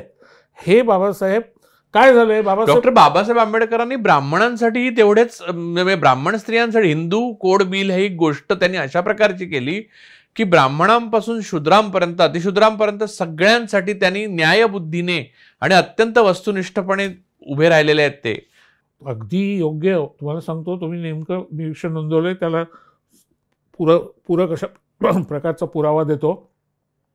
बुद्धाकडे बाबासाहेब वळले हे आपल्याला सगळ्यांना माहिती आहे.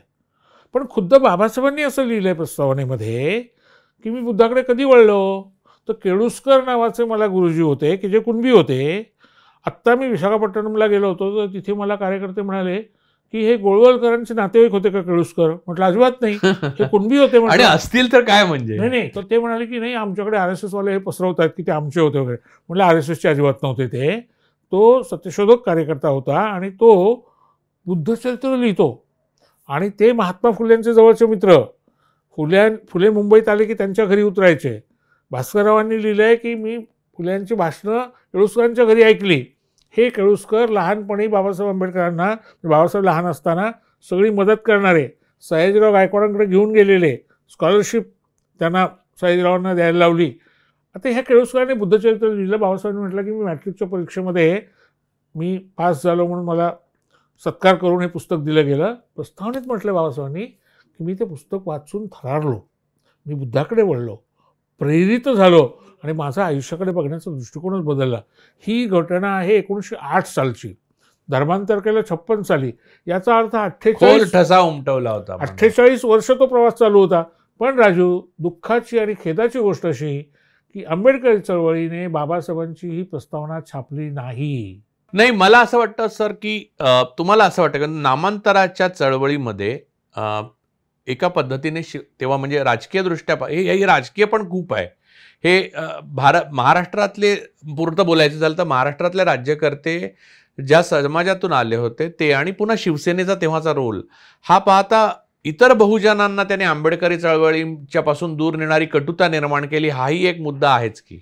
हे खरं आहे. हे मात्र खरं आहे. खरं तर बघा कारण एकटा दुकटा माणूस तर आता आज मी माझा तिसरा प्रश्न त्याच्यावर आहे म्हणून मी आत्ता त्याच्यावर बोलत नाही पण मुद्दा असा आहे की एकटा दुकटा माणूस कुठचा समाजाचा आहे हे महत्वाचं नाही ठरत. तो वाद आहे. म्हणजे मी जेव्हा ब्राह्मणवाद म्हणतो तो ब्राह्मणांच्या अर्थाने म्हणत नाही. मी आज म्हणेन की बहुजनच ब्राह्मणवादी जास्त आहेत आज. म्हणजे मी जेव्हा लिहीन तेव्हा जास्त ट्रोल मला बहुजनवादी हो, बहुजन लोक करतात. हो हो. ब्राह्मण फार थोडे मला ट्रोल करत असतील. तर मुद्दा हा आहे की कोणत्या जातीतून किंवा कुठच्या ह्याच्यातून आला हे बिन महत्वाचं ठरतं. तर इथे हा मुद्दा आहे की नामांतराच्या वेळेला जी फूट पडली ती रुंद होत गेली असं तुम्हाला वाटतं का? अगदी. मला मी तुम्हाला सांगतो की मी मी स्वतःला त्या अर्थाने भाग्यवान वगैरे शब्द आपण वापरत नाही. एरवी पण इथे मी रोळलेला शब्द म्हणून वापरतो. मला खरंच आनंद वाटतो की मी त्यावेळेला नामांतराच्या बाजूनी उभा राहिलो आणि तुरुंगात गेलो. कारण त्यावेळेला फूट पडण्याच्या प्रक्रियेमध्ये मी ज्या समाजातनं आलेलो आहे तो समाज नामांतराच्या विरोधात होता. पण मी मात्र चळवळींमुळे विचारांमुळे आणि पक्की मुळं असल्यामुळे या सगळ्यामध्ये राहिलो याचा मला नक्की आनंद आहे. मी तुम्हाला सूत्ररूपाने तीन चार गोष्टी जोडून घेतो. बघा नेहमी महात्मा फुल्यांच्या मृत्यूपत्राबद्दल बोलताना असं खोटं सांगितलं जातं की ते म्हणाले ब्राह्मणांची सावली पडू देऊ नका. ते ओरिजिनल मृत्यूपत्र त्यांनी रजिस्टर केलेलं मी शोधून काढलेलं आहे. त्याच्यामध्ये शब्द काय आहेत माहिती आहे का? की जे ब्राह्मण आणि त्यांचे दासानुदास हे शूद्राती शूद्रांना आजही दासानुदास मानतात हलकं मानतात गुलामीचं त्यांच्याशी वागतात त्यांची आणि त्यांच्या बहुजन अनुयायांची सुद्धा सावली पडू देऊ नये. म्हणजे फुले ब्राह्मणांची सावली नाही म्हणजे. आजच्या दृष्टीने कॉन्टेम्पररी लिहून ठेवलंय त्यांनी. फुले विचारांनी जे कोणी प्रतिगामी विचारांनी आजही समकालीनच आहेत ते. त्या प्रतिगाम्यांची सावली पडू देऊ नये असं म्हणतात. पण मग काय झाकायचं आणि काय सांगायचं याचं एक राजकारण जे केलं जातं ते घडलं एक. बाबासाहेबांच्या बाबतीत सुद्धा तुम्ही बघा दोन अत्यंत महत्त्वाचे प्रसंग. एक जुलै एकोणीसशे सत्तावीसचा बाबासाहेबांचा अग्रलेख आहे. जेधे जवळकरांनी सूचना केलेली आहे की तुमच्या आंदोलनामध्ये महाडच्या दुसऱ्या सत्याग्रहामध्ये ब्राह्मणांना येऊ देऊ नका. बाबासाहेब अग्रलेख लिहून खुलासा करतात ते म्हणतात नाही आमचा विरोध ब्राह्मणांना नाही. आमचा विरोध ब्राह्मणवादाला आहे. आणि त्यामुळे ज्या ब्राह्मणांनी ब्राह्मण्य सोडलेलं आहे त्यांचं मी स्वागत करतो. पण ब्राह्मणवाद नावाची जी प्रवृत्ती आहे ती ब्राह्मणातरा ब्राह्मणेतरांमध्ये सुद्धा असते. आणि त्यामुळे जे ब्राह्मण नाहीत पण विचाराने ब्राह्मणवादी आहेत तेही मला चालणार नाहीत.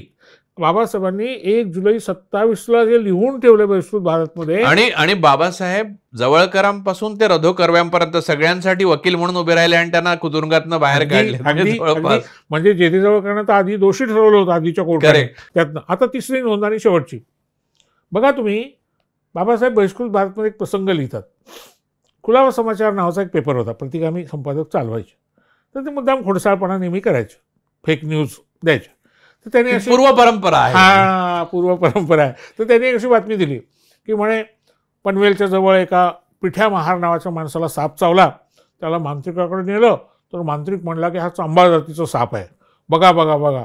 सापामध्ये सुद्धा जाती आहेत. तर माणसामधल्या जाणार कशा? आंबेडकर तुम्ही म्हणता जाती गेल्या पाहिजेत. जी जात नाही ती जात. बाबासाहेब आंबेडकरांनी त्याला बहिष्कृत भारतमध्ये अप्रतिम उत्तर दिलं आहे राजू. ते दोन हजार बावीसचं आणि दोन हजार बावीस काय? पुढच्या एकवीसशे पन्नास. एकवीसशे बावीस मला पन्नास वर्ष तर सुधरत नाही समाजाची खात्री नक्की. नक्की. पन्नास शंभर दोनशे वर्षाचं पुढचं उत्तर आहे. काय मार्मिक. मधला काळ फक्त ब्रिटिश आले त्यामुळे समाज सुधारकांना तुरुंगात घातले गेले नाही त्यामुळे हे. लिहू शकले. लोकहितवादी आणि रानडे आणि आगरकर आणि फुले कर्वे काम करू शकले. तर बघा बाबासाहेबांनी असं लिहिलंय. म्हणजे खरं म्हणजे एखाद्याला साप चावला असेल तर त्याला डॉक्टरकडे न्यायला पाहिजे होतं मांत्रिकाकडे का नेलं? आणि दुसरं म्हणे प्रश्न काय विचारला? प्रश्न असा विचारला त्या मांत्रिकाने की तू कोणत्या जातीचं साप आहेस? म्हणजे सापामध्ये जाती असतात हे यांनी ठरवलेलं. म्हणून तो प्रश्न प्लॅन केलेला. आणि मग म्हणे त्याचं उत्तर आलं की मी चांभार जातीचं साप आहे. बाबासाहेब म्हटले हाफकिन इन्स्टिट्यूटमध्ये जे संशोधन होतं त्याच्यामध्ये हे सिद्ध झालं आहे की मंत्राने काही सापाचं विष उतरत नाही वगैरे वगैरे. पण ते म्हणाले बाजूला ठेवा. साप आणि सांभार हे शक्य आहे का? आणि इतकं अप्रतिम उदाहरण दिलं त्यांनी. त्यामुळे कामावरून जाती आल्या असं तुम्ही म्हणता. सोन्याचं काम करतो तो सोनार चांबड्याचं काम करतो तो चांभार. मग सापाला तर पायच नाहीत. मग ज्याला पायच नाहीत तो चप्पल कसा घालेल? आणि मग चप्पल नाही तर चांभार कसा असेल? आणि मग बाबासाहेब असं म्हणतात की सापामध्ये चांभार नाहीत हे नक्की. पण माणसामध्ये मात्र सापाच्या प्रवृत्तीचे लोक आहेत आणि ते सगळ्या जातीत आहेत. त्यामुळे बाबासाहेबांचा शाहू महाराजांचा महात्मा फुल्यांचा सतत लढा जो होता तो लढा प्रवृत्तीच्या विरुद्ध होता विचारधारेच्या विरुद्ध होता. तो दुर्दैवाने मधल्या काळामध्ये गावगाड्यावरची पकड ढिली झाल्यानंतर तुम्ही म्हणता तसं नामांतर आणि इरियल्स आणि इतर अनेक मुद्दे पुढे आल्याच्यानंतर अशा पद्धतीने ते वळवलं. रिडल्सच्या वेळी पण केवढे तरी मोर्चे निघाले आणि त्यात सगळा बहुजन समाज समाविष्ट झाला. म्हणजे doctor Babasaheb Ram who Ram riddles of Ram and Krishna हो. ही पुस्तक प्रकाशित करू नये वगैरे म्हणून. आणि ते ते खरं तर वाल्मिकी रामायण आहे. म्हणजे त्याच्यात बाबासाहेबांनी स्वतःचं काहीच म्हणजे कालच एका कुठच्या तरी एका शिक्षकाच्या बद्दल खूप ट्रोलिंग चाललं होतं समाज माध्यमावर. तर त्याने उद्धृत केलेली जी वचनं आहेत ती वाल्मिकीनी रामायणात लिहिलेली आहेत. त्याच्यात त्याचं मनचं काहीच नाहीये. त्याच्यावरच म्हणजे नरर कुरुंदकर जे म्हणाले होते जे काय बाकी नरर कुरुंदकरांचं सर्व पटावं सर्व न पटावं हा बाजूला ठेवा पण ते वाक्य बरोबर आहे मात्र. आपल्याला धर्मग्रंथांबद्दल अतिवादर असतो याचं कारण आपण ते वाचलेले नसतं आहे. तर इथे तिसरा प्रश्न उभा राहतो सर. या सगळ्या परंपरेचे आपण पायिक आहोत म्हणजे भारतीय प्रतिज्ञे परंपरेचे पायिक आहोत याचा खरंच अभिमान वाटावा अशी आहे गौरवास्पद परंपरा आहे ही. पण एवढी गौरवास्पद परंपरा ज्यांना लाभलेली आहे म्हणजे खरं सांगायचं तर एखाद्या ब्राह्मण घरात जन्माला आलेल्या माणसाला असं वाटेल की अरे म्हणजे जातीने जन्माने जर ठरवायचं झालं तर आपल्याला ही परंपरा नाही लाभली बुवा असं वाटावं अशी हेवा वाटावं अशी परंपरा सोडून बहुजनांना ब्राह्मणवादी व्हावं अशी वाटावं असं कोणतं लालूच अमिष भीती भय किंवा का सर्वकालिक एक अनुकरण अनुनय ब्राह्मणवादाचा करण्याची जी परंपरा आहे ती एवढी कशी काय आली मुरली? मला ह्याचं फार कोड मला ह्याची फार जिज्ञासा कारण मी हे समजू शकत नाही. कारण मी स्वतः जन्माने हे समजू शकत नाही ना. मला प्रॉब्लेम आहे. की मला कळत नाही की एवढी अभिमानास्पद परंपरा सोडून तुम्हाला हे ब्राह्मणवादी व्हावं असं वाटतं? असं काहीच नव्हतं आमच्याकडे की जे तुम्हाला द्यावं म्हणजे ज्ञान. स्तोत्र वगैरे ज्ञान नव्हतं कारण त्याच्यातनं कोणते बरे झाले नाही. किंवा आसवं काढे वगैरे खाऊन पेशवाईतले पेशवे सुद्धा लवकरच गेले. जेव्हा ब्रिटिशांनी औषधं आणली तेव्हा ते त्यांचा जीव वाढायला लागला. म्हणजे जीवनमान आपलं वाढलं आयुर्मान वाढलं. वाढलं. आता मला सांगा की ही परंपरा सोडून ब्राह्मणवादाची कास धरावी अशी काय गंमत आहे त्याच्यात असं वाटतं? आता त्या अँगलने मला जरा समजावून सांगा. हा एक ओढा माझं सुटू शकत नाही कारण मी हा विचारच नाही करू शकत. जाती व्यवस्थेबद्दलचं जे काही काम झालेलं आहे त्याच्यामध्ये फुले जे काही लिहितात तो झाला एक टप्पा. दुसऱ्या टप्प्यामध्ये आपल्याला दिसतं की राजाराम शास्त्री भागवत यांनी या संबंधामध्ये अतिशय महत्त्वाचं लेखन केलेलं आहे. आणि मग त्याच नंतरच्या काळामध्ये प्रबोधनकर ठा प्रबोधनकर ठाकरे मांडणी करतायत. राजाराम शास्त्री भागवत म्हणजे त्यांनीच वेदोक्त पुराणोक्त मधले हा. पुराणोक्त मंत्र म्हणतोय असं शाहू महाराजांना सांगितलं. आता तिथे सुद्धा बघा एका ब्राह्मणाच्या विरुद्धची तक्रार एका ब्राह्मणाने केलेली आहे. आणि ते खरं म्हणजे फार मोठं क्रांतिकारक काम आहे. पण ते केलेलं राजाराम शास्त्रींनी. इतिहासात नाव राजाराम शास्त्रींचं मला पटकन आठवलं हे महत्वाचं आणि. योग्यच आहे ते योग्यच आहे. बघा तुम्ही एकोणीसशे नऊ साली आपण अगदी नेमकं पण अकॅडमिक पद्धतीने बघू. कास्ट इन इंडिया याचा इतिहास भारतीय जाती व्यवस्थेचा इतिहास ज्ञानकोशकार केतकर यांनी लिहिला आणि तो ऑक्सफर्ड युनिव्हर्सिटी प्रेसनी प्रकाशित केला इंग्रजीमध्ये. ते एक वेगळेच माणूस होते. हो. त्याच्यानंतर ब्रिटिशांनी भारत समजावून घ्यायचा. म्हणून इंथोवेन नावाच्या मुंबईच्या कमिशनरला काम दिलं टीम दिली आणि त्याने तीन खंड प्रकाशित केले. Caste and tribes in Bombay Mumbai प्रांतातल्या जाती आणि जमातींबद्दल अतिशय महत्त्वाचं काम त्यांनी केलं. असंच काम विदर्भाबद्दलचं सेंट्रल प्रॉव्हिन्स आणि संयुक्त आत्ताचं मध्य प्रांत ज्याला म्हणतो आपण तो आणि विदर्भ याच्याबद्दलचं काम रसेल हिरा हिरालाल यांनी केलेलं आहे. असं काम ब्रिटिशांनी भारतभर केलेलं आहे. असे त्याचे खंड आहेत. मी राज्य मागासवर्गावर काम करताना हे सगळे संदर्भ ग्रंथ म्हणून आम्ही वापरायचो. मुद्दा काय? आपल्याकडच्या अभ्यासकांकडे जेव्हा आपण येतो तेव्हा एकोणीसशे तीस बत्तीसच्या काळामध्ये सदा जी एस घुर्रे यांचं आपल्याला कास्ट अँड रेस हे फार महत्त्वाचं पुस्तक दिसतं.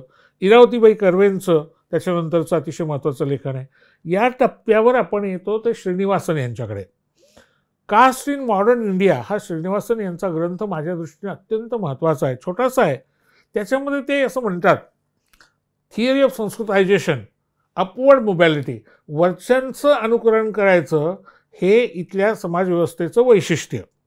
बाबासाहेब काय म्हणतात? बाबासाहेब असं म्हणतात ग्रेडेड इन इक्वॅलिटी श्रेणीबद्ध विषमता जातीव्यवस्थेने निर्माण केली. पण श्रीनिवासन ईडब्ल्यू एस ने तेच नाकारले आता. हा हा.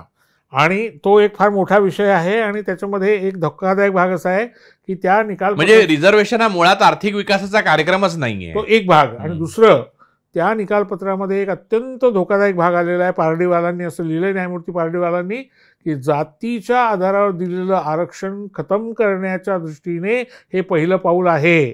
त्यामुळे हे नुसतं उच्चवर्णीयांना गरिबांना दिलं आहे असं नाही. याच्या मागे एक मोठं विचार आहे. हा. आणि तो सूत्रबद्ध पद्धतीने अंमलात आणला अंमलात आणला आणि त्याचा पुरेसा इशारा देऊन सुद्धा कोणी सावध होत नाही नाही होत आहे. पण तो एक वेगळा विषय आहे कारण मी सध्या त्या निकालपत्राचा फार बारकाईने अभ्यास करतोय. त्याच्यावर स्वतंत्रपणे बोलायला पाहिजे. मी नीट वाचल्यामुळे म्हणजे बऱ्याच वाचून झालंय तर मला माझ्या लक्षात आलंय की हे काय आहे धोकादायक आहे. तीनशे नव्याण्णव पानाचं आर्ग्युमेंट आहे. सॉरी निकालपत्र आहे. आता श्रीनिवासन असं म्हणतात की वरच्या जातींचं अनुकरण ते राहतात कसं? ते बोलतात कसं? त्यांची एकूण खाणं पिणं या सगळ्यांचं अनुकरण करणं याला एक सांस्कृतिक सामाजिक प्रतिष्ठा. मग ती खोटी का असेना? पण ती मिळवण्याच्यासाठी अशा पद्धतीचं नाटक केलं जायचं. त्यामुळे तुम्ही बघा जुन्या काळामध्ये जाती चोरण्याची जी काही एक घटना घडत असे बाबूराव बागोलांचं पुस्तकच आहे जेव्हा मी जात चोरली चोरली चोरली होती. काय केलं जायचं जात चोरली जायची म्हणजे? तर आपण वरच्या जातीचे आहोत असं सांगितलं जायचं. नावं आडनावं बदलली जनगणनेमध्ये लोकांनी. आता राजू तुम्हाला सांगतो की हे आपल्याकडचं किती भीषण आहे. तर मुरली चरित्र नावाचं एक आपल्याकडे फार जुनं पुस्तक आहे. घटना काय आहे? तर घटना अशी आहे की एक चांभार समाजातला मुलगा आहे आणि तो एका ब्राह्मणाच्या घरी त्याच्या गोठ्यात गाई म्हशींचं शेण काढायचं काम करतोय. तो ब्राह्मण जो आहे तो जे मंत्र म्हणतो हे या मुलाला ऐकू येतात आणि हा मुलगा भयंकर उत्तम त्याचं आकलन आहे. आणि त्याला एकदा ऐकलं की पाठ होतं. त्यामुळे तो ते सगळे मंत्र शिकतो. आणि तो तिथनं गाव सोडून निघून जातो. म्हणजे पैठणचा असतो तो नाशिकला जातो. तिथे तो हे मंत्र म्हणायला लागतो. एका ब्राह्मणाला असं वाटतं की अरे हा ब्राह्मण मुलगा आहे. तो त्याला घरी घेऊन जातो आणि त्याची मुलगी लग्नाची असते. या मुलाला देऊन टाकतो आणि हा मुलगा ब्राह्मण म्हणून तिथे राहायला लागतो. अगदी थोडक्यात गोष्ट सांगतो फार इंटरेस्टिंग आहे. त्याची बायको त्याला असं म्हणते की मला यहुदी पिक्चरच्या स्टोरी सारखी दिसते. मला सासू सासऱ्यांना भेटायचं आहे. तो टाळत असतो. पण शेवटी ती अगदी हट्टाला पेटते. मग तो तिला घेऊन जायचं ठरवतो. पण त्याला चिंता आता की आपल्या आईवडील तर चांभार आहेत. मग तो काय करतो की जंगलामध्ये एका ठिकाणी बायकोला विहिरीत ढकलून देतो आणि मारून टाकतो. आणि परत येतो आणि रडून सांगतो सासू सासऱ्यांना की ती मेली वगैरे. कथा इथे संपत नाही. चमत्कार असा आहे की ती बायको एक महिन्याने हजर होते. हा हजरतो पण ती सावरून घेते. ती म्हणते मी पाणी प्यायला गेले तेव्हा माझा तोल गेला आणि मी विहिरीत पडले. यांनी मला वाचवायचा प्रयत्न केला पण जमलं नाही वगैरे. पण मी बुडाले पण नाही. तिथे खाली एक पिंपळाचं झाड होतं त्याला मी धरून तगले. आणि नंतर मग एक साधूंची टोळी आली. तिने मला बाहेर काढलं आणि मी आले वगैरे.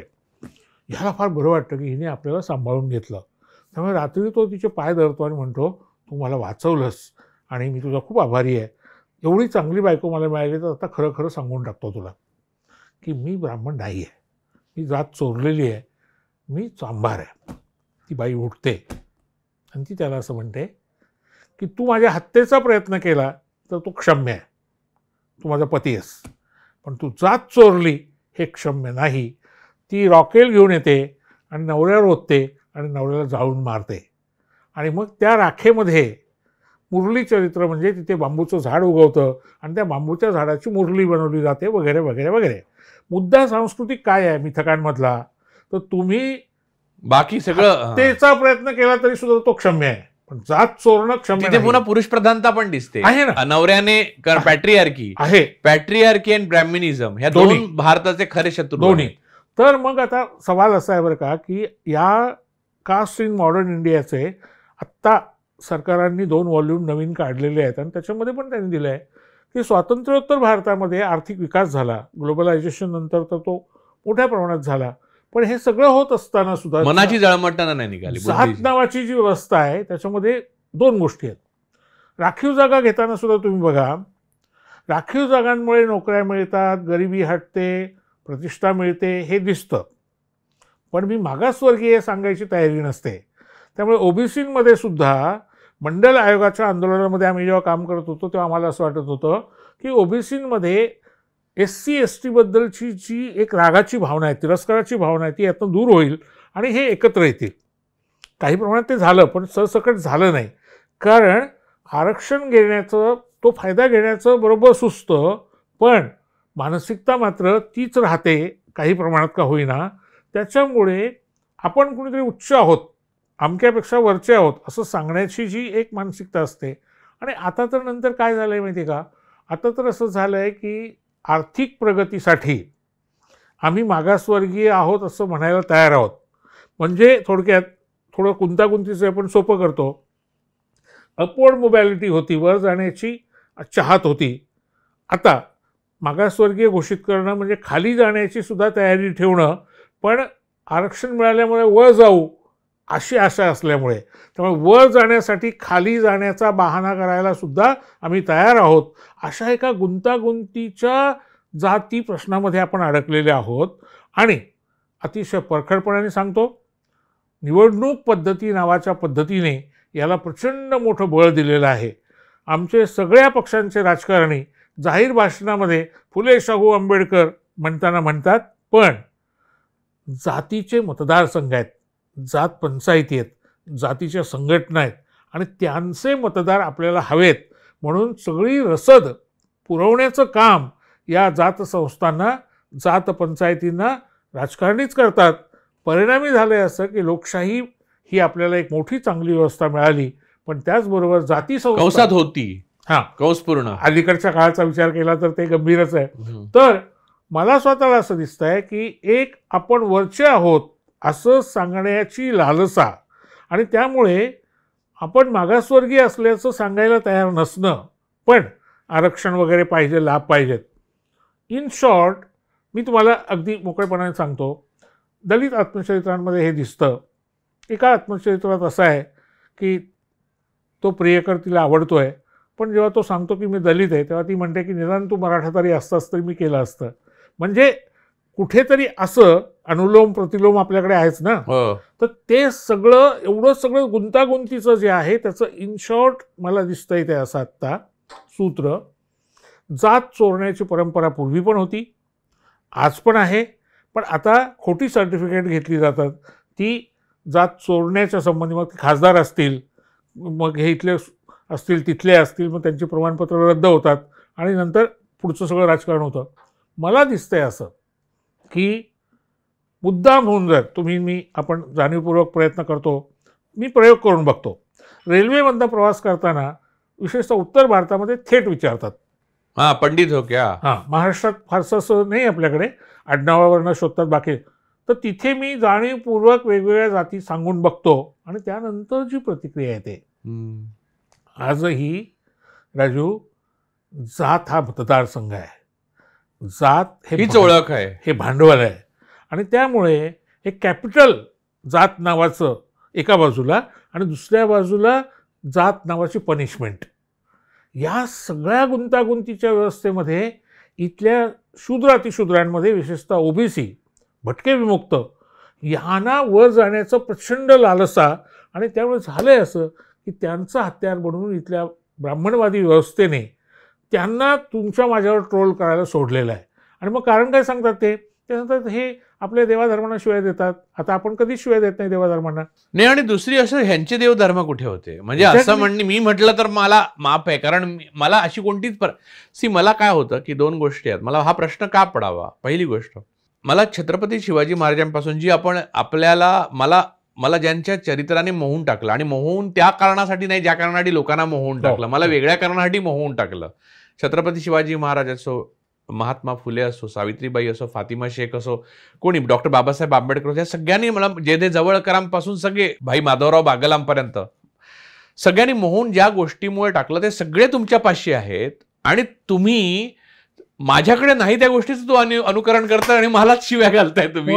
मी तुम्हाला सांगतोय की जे तुमचं तुमच्याकडे आहे ते तुम्हाला फक्त सांगतोय मी. तुम्ही सांगताय पण यांना माहीत नाही आहे ना. म्हणजे आता केशवराव विचाऱ्यांसारखा एक मोठा माणूस अतिशय क्रांतिकारक काम केलेला किंवा भास्करराव जाधवांसारखा एक मोठा सत्यशोधक किंवा ताराबाई शिंदेंसारखी एक मोठी सत्यशोधक तानुबाई बिर्जेंसारखी सत्यशोधक नाही माहिती. आणि म्हणून इथे मला असं वाटतं की बहुजन चळवळीमधल्या तीन मोठ्या उणिवांकडे मी आपलं लक्ष वेधू इच्छितो. त्यातलं पहिलं शिक्षणामध्ये ज्या क्रांतिकारक बीजांचा समावेश व्हायला पाहिजे होता त्याच्याकडे पुरेशा गांभीर्याने पाहिलं गेलं नाही.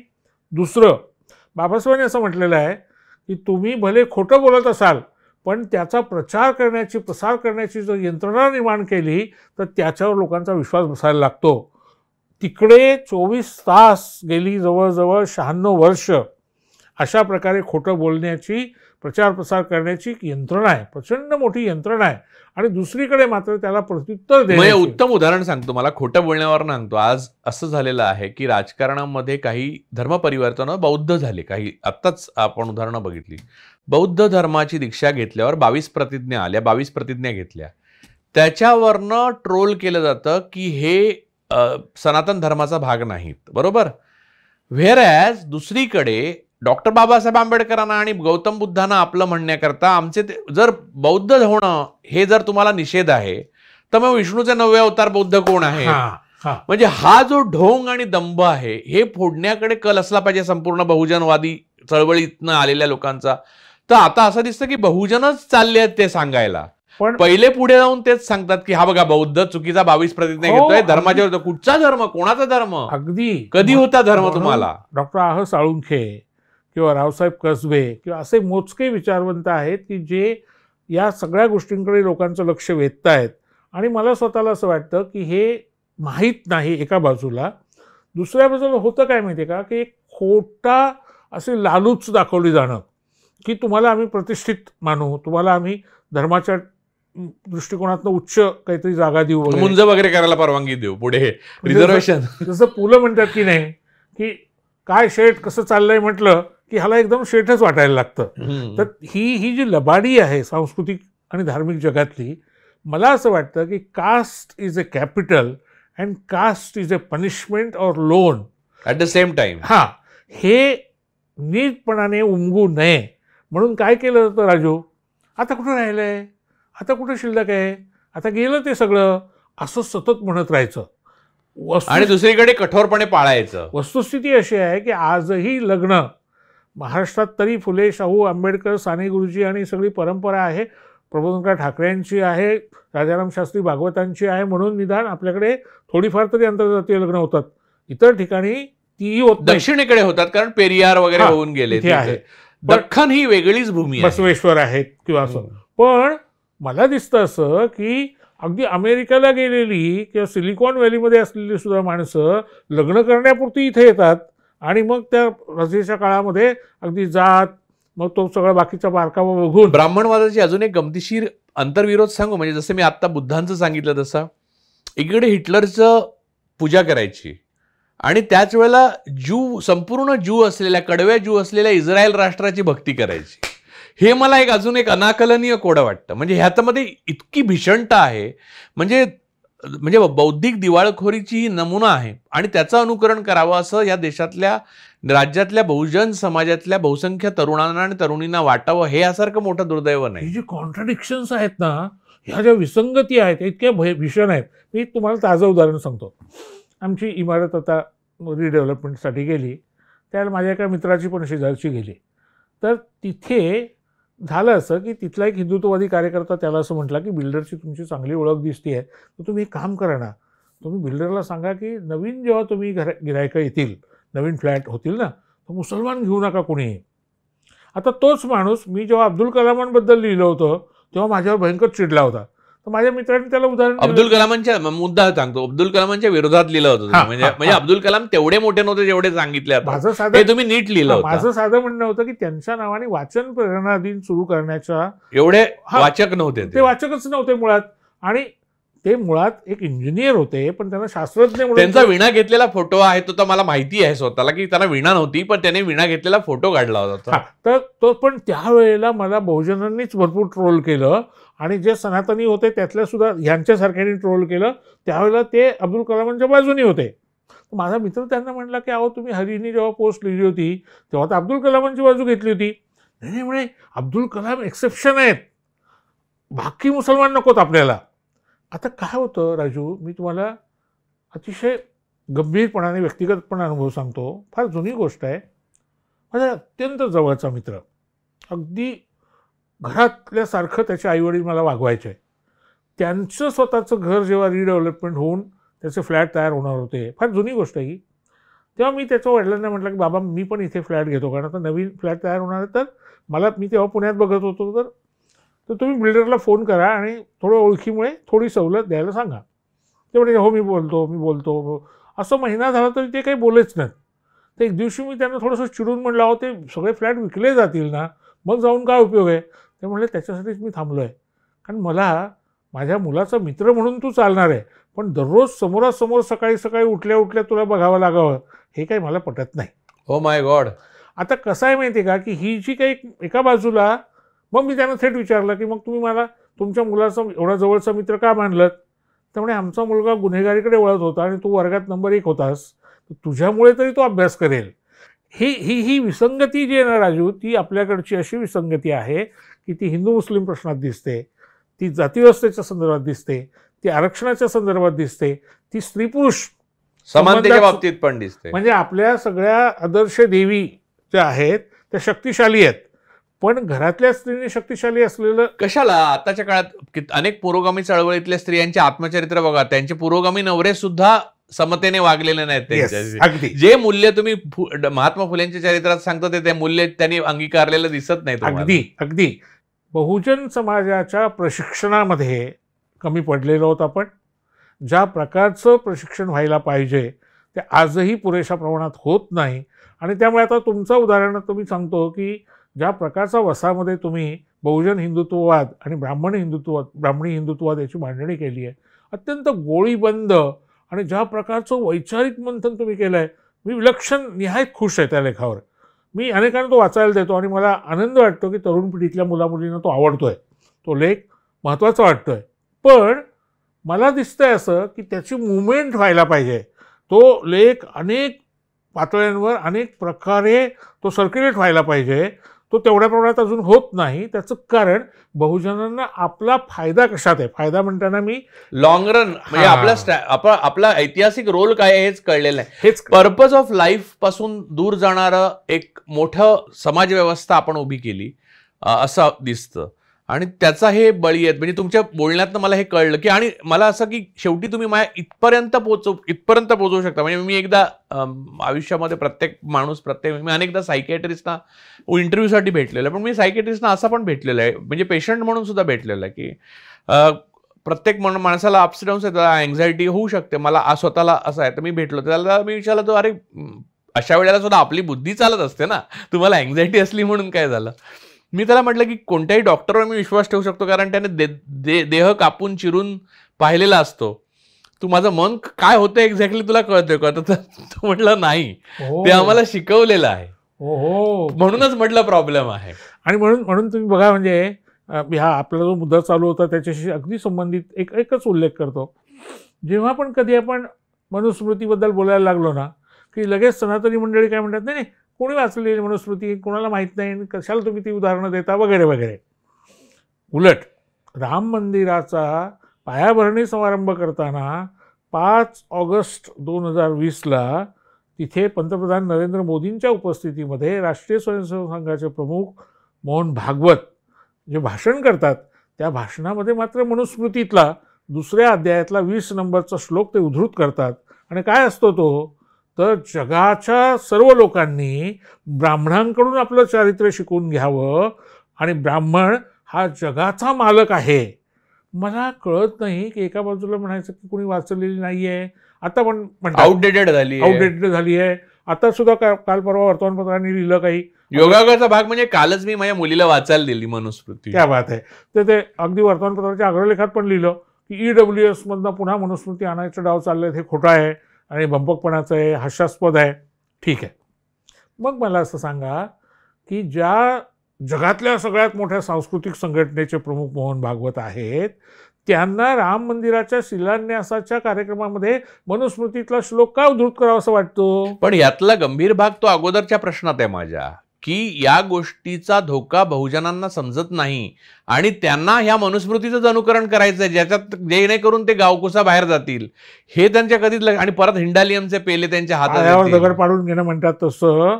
इथे मला काय दिसतं राजू एक या जागतिकीकरणाच्या नंतर विशेषतः तो चंगळवाद वाढला. आणि त्याच्यामुळे एक असं झालंय की मला जर का समजा भारतीय जनता पक्षाने कुठलं पद दिलं मला काहीतरी त्यांच्याकडनं लाभ मिळाला तिकीट मिळालं अमुक मिळालं. तर मी लगेच त्यांचा प्रवक्ता होणारा त्यांचं समर्थक आणि भाटगिरी करायला तयार होतो. बहुजन समाजाचं मी म्हणतोय. आणि त्याच्यामुळे एक व्यापक अशा सर पण मी तुम्हाला इथे अजून एक मुद्दा इथे जरा वेगळा मांडतो. केवळ भारतीय जनता पक्ष कशाला म्हणता तुम्ही? म्हणजे थेट म्हणजे कांशीरामाने जसं उभा केला तसं सोडून म्हणजे त्यांनी सुद्धा नंतर करू नाही शकले ते. बघा तुम्ही सर्व पक्ष न्यायालय न्यायपालिका मुख्य सर्व यंत्रणा संस्था आज आज ज्या ब्राह्मणवादी झाल्या असं म्हणावं असं तर असं नाही आहे सर. गेले सत्तर पंच्याहत्तर वर्ष त्या ब्राह्मणवादी आहेत. आणि ते ब्राह्मण वर्चस्व जे ब्राह्मणवादाचं वर्चस्व आहे ब्राह्मणवाद म्हणजे सगळे ब्राह्मण आहेत हे तर असू दिलंच कदाचित तसंही असेल. पण त्याहीपेक्षा तसे नसलं तरी त्याचं वर्चस्व राहिलेलं आहे हे ब्राह्मणवादाचं खरं यश आहे. आणि ते यश हे भारताच्या व्यापक हिताचं नाही म्हणून त्याचा आणि मानवतेचं खऱ्या हिताचं नाही.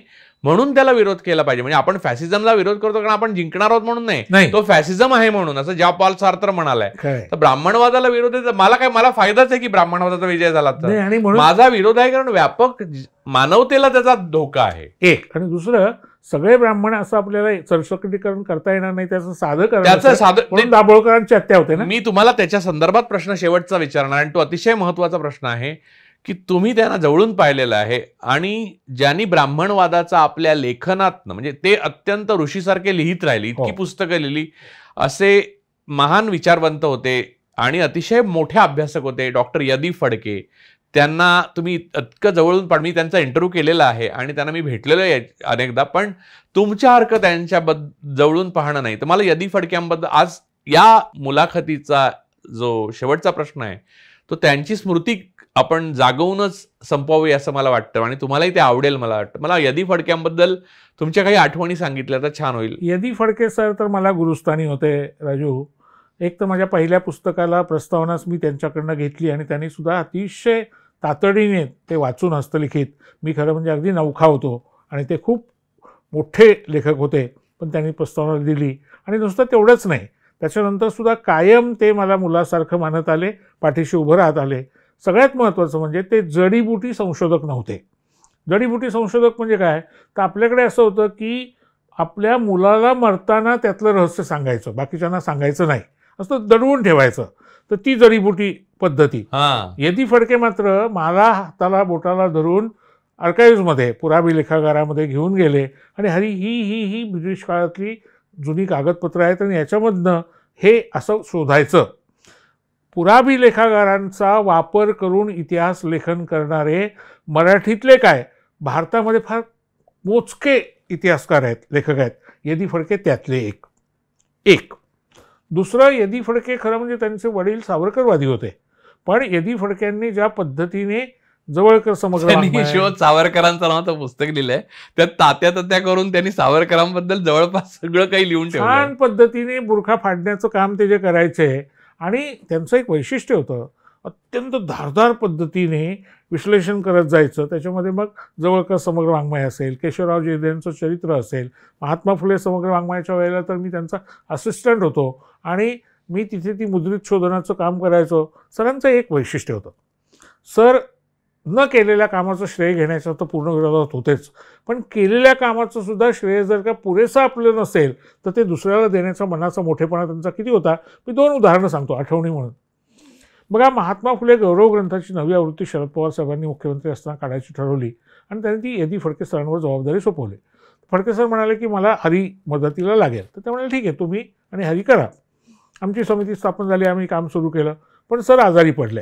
मग मी पुस्तक वेळेत करायचं होतं म्हणून सरांचं मार्गदर्शन दवाखान्यात जायचो बोलायचो त्यांच्या सूचना घ्यायचो त्याप्रमाणे मी प्रत्यक्ष काम करायचो.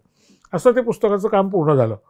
पुस्तक प्रकाशित करण्याच्या आधी प त्यांनी पवारसाहेबांना आणि कमलताईंना सांगितलं एदितनी की या पुस्तकाचं सगळं काम हरीने केलेलं आहे. त्यामुळे माझं नाव तुम्ही याच्यात लावू नका. हरीचं नाव लावा. आता मी एक अतिशय ज्युनियर माणूस पण एवढं मोठं मन की एवढा मोठा दिग्गज लेखक तो सांगतो तर पवारसाहेबांनी कमलताई म्हणाले की नाही नाही असं कसं करता येईल? कारण तुमची दोघांची समिती नेमली ना. यदी फडके पुढचं जे म्हणाले राजू ते विलक्षण आहे. ते म्हणले मग हरीचं नाव पहिलं लावा आणि माझं दुसरं लावा. महात्मा फुले गौरव ग्रंथाच्या पुढच्या आवृत्तीमध्ये सुधारित आवृत्तीमध्ये हरी नरके यदी फडके असा उल्लेख आहे. तो फडके सरांच्या आग्रहामुळे. एरवी ही छोटीशी गोष्ट आहे पण दुसऱ्या बाजूला खूप मोठं मान लागतं. इंटेलेक्च्युअल ऑनेस्टी इंटेलेक्च्युअल ऑनेस्टी मन मोठं असणं. तिसरं आणि व्यापक दृष्टिकोन. तिसरं त्यांचं मोठेपण तुम्हाला सांगतो साहित्य संस्कृती मंडळाचे ते अध्यक्ष होते. त्या काळामध्ये त्यांनी इतके उपक्रम सुरू केले आणि खऱ्या अर्थानं यशवंतराव चव्हाणांना अभिप्रेत होतं साहित्य संस्कृती मंडळाचं काम. ते लोकाभिमुख करण्याचं बहुजन समाजाला लिहितं करण्याचं त्याच्यासाठी यदी फडक्यांनी एका बाजूला मोठं काम केलं. दुसऱ्या बाजूला अरुण शौरीसारख्या लेखकाने जेव्हा बाबासाहेब आंबेडकरांच्या बद्दल विस्पेरिंग अत्यंत वाईट पद्धतीने लिहिलं. वाईट. आणि चुकीचं. हां चुकीचं. तर त्याचं खंडन करणारं पुस्तक यदी फडक्यांनी ज्या. प्रखरपणाने लिहिलेलं आहे आणि अत्यंत तर्कशुद्ध पद्धतीने त्याचं रिझनिंग देऊन ज्या प्रकारे त्याचं खंडन केलेलं आहे मला स्वतःला असं वाटतं की प्रखर आंबेडकरवादी काय करू शकेल? इतकं फडके सरांचं हे योगदान इतकं महत्त्वाचं आहे. फुले समग्र वाङ्मयामधलं त्यांचं काम मी पाहिलं. एकूण सत्यशोधक चळवळीतलं त्यांचं काम पाहिलं. तर मला स्वतःला असं वाटतं की यदी फडके हे एक दी कास्ट होण्याच्या परंपरेतले आमचे गुरु आणि संशोधक म्हणून तर अतिशय थोर माणूस. आणखी कमालीचा निर्भय. कमालीचा निधड्या छातीचा. आणि त्यामुळे जे लिहायचंय ते मांडायचंय हो ते बोलायचे फार थेट. अगदी आणि त्याची किंमत मोजायची पण तयारी असायची. आणि एक होतं थोडंसं ते त्यांचं स्वभावाचंच वैशिष्ट्य होतं की तुम्हाला आश्चर्य वाटेल हा माणूस तर्कशुद्धतेमध्ये तत्त्वज्ञानामध्ये पक्का बांधील. एकदम परफेक्ट पण काय सवयी असतात किंवा काय रसायन असतं बघा गुंतागुंतीचं ते इकडं वैचारिक लेखन करत असताना समोर मारधाड चाललेले हिंदी सिनेमे मसाले सिनेमे बघायचे. त्यांना ते आवडायचे. आणि मला कौतुक वाटायचं मला आश्चर्य वाटायचं की सर हे असले बोगस सिनेमे तुम्ही बघता. ते म्हणले अरे बरं असतं म्हणाले. विश्रांती असते मेंदूला. त्यामुळे ते समोर चाललेलं आहे आणि मी इकडे लिहितोय. तुम्हाला आणखी एक गोष्ट सांगतो. यदी फडक्यांना हिंदी सिनेमाची गाणी हजारो गाणी पाठ होती. त्यामुळे भेंड्या खेळताना ते कधीही हरले नाही. म्हणजे आम्ही दहा लोक एका बाजूला आणि एकटे फडके कारण साहित्य संस्कृती मंडळामध्ये काय होतं? अरुण साधू होते नारायण सुर्वे होते दया पवार होते. फार दिग्गज लोकांच्या सोबत मला काम करायला फडके सरांमुळे संधी मिळाली. आणि आम्ही सगळे एका बाजूला असतो फडके सर एकटे पण तेच जिंकायचे. एवढी हिंदी गाणी मराठी गाणी त्यांना पाठ. आणखीन एक इंटरेस्टिंग फडके सरांनी पहिलं पुस्तक जे लिहिलं ते खूप वयाच्या उशिरा लिहिलं आणि ते रहस्यकथेचं पुस्तक आहे. वीस लाखाचा खजिना. आणि त्यामुळे यदी फडके हे मूळचे रहस्यकथा लेखक. पण ते जेव्हा राजकीय त्यांनी अनेक रहस्य उघड केली. राजकीय. तिकडे वळले.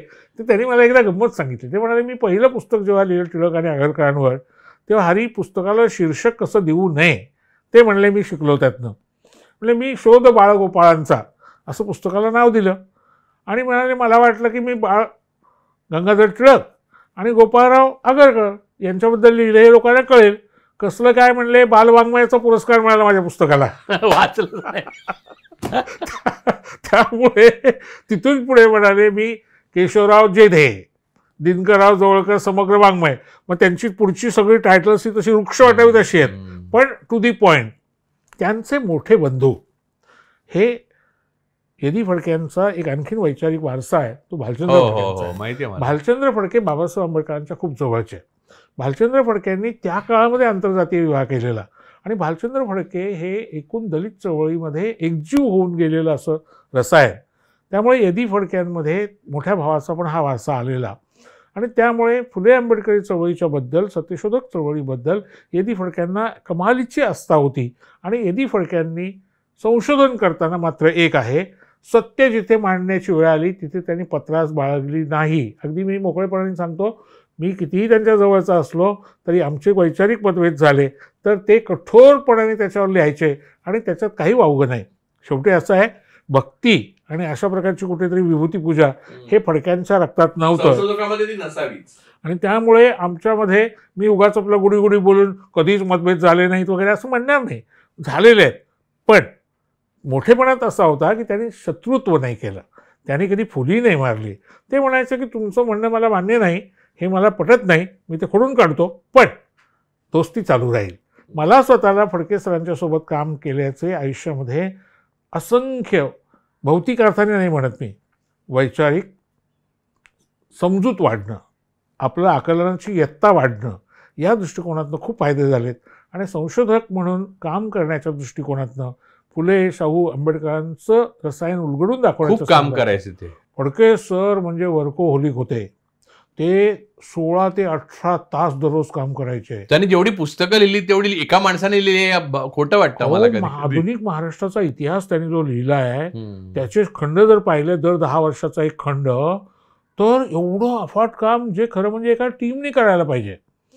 आता त्यांनी पण महाराष्ट्राची परंपराच आहे एक हाती काम करून जातात काण्यांचं नाही का?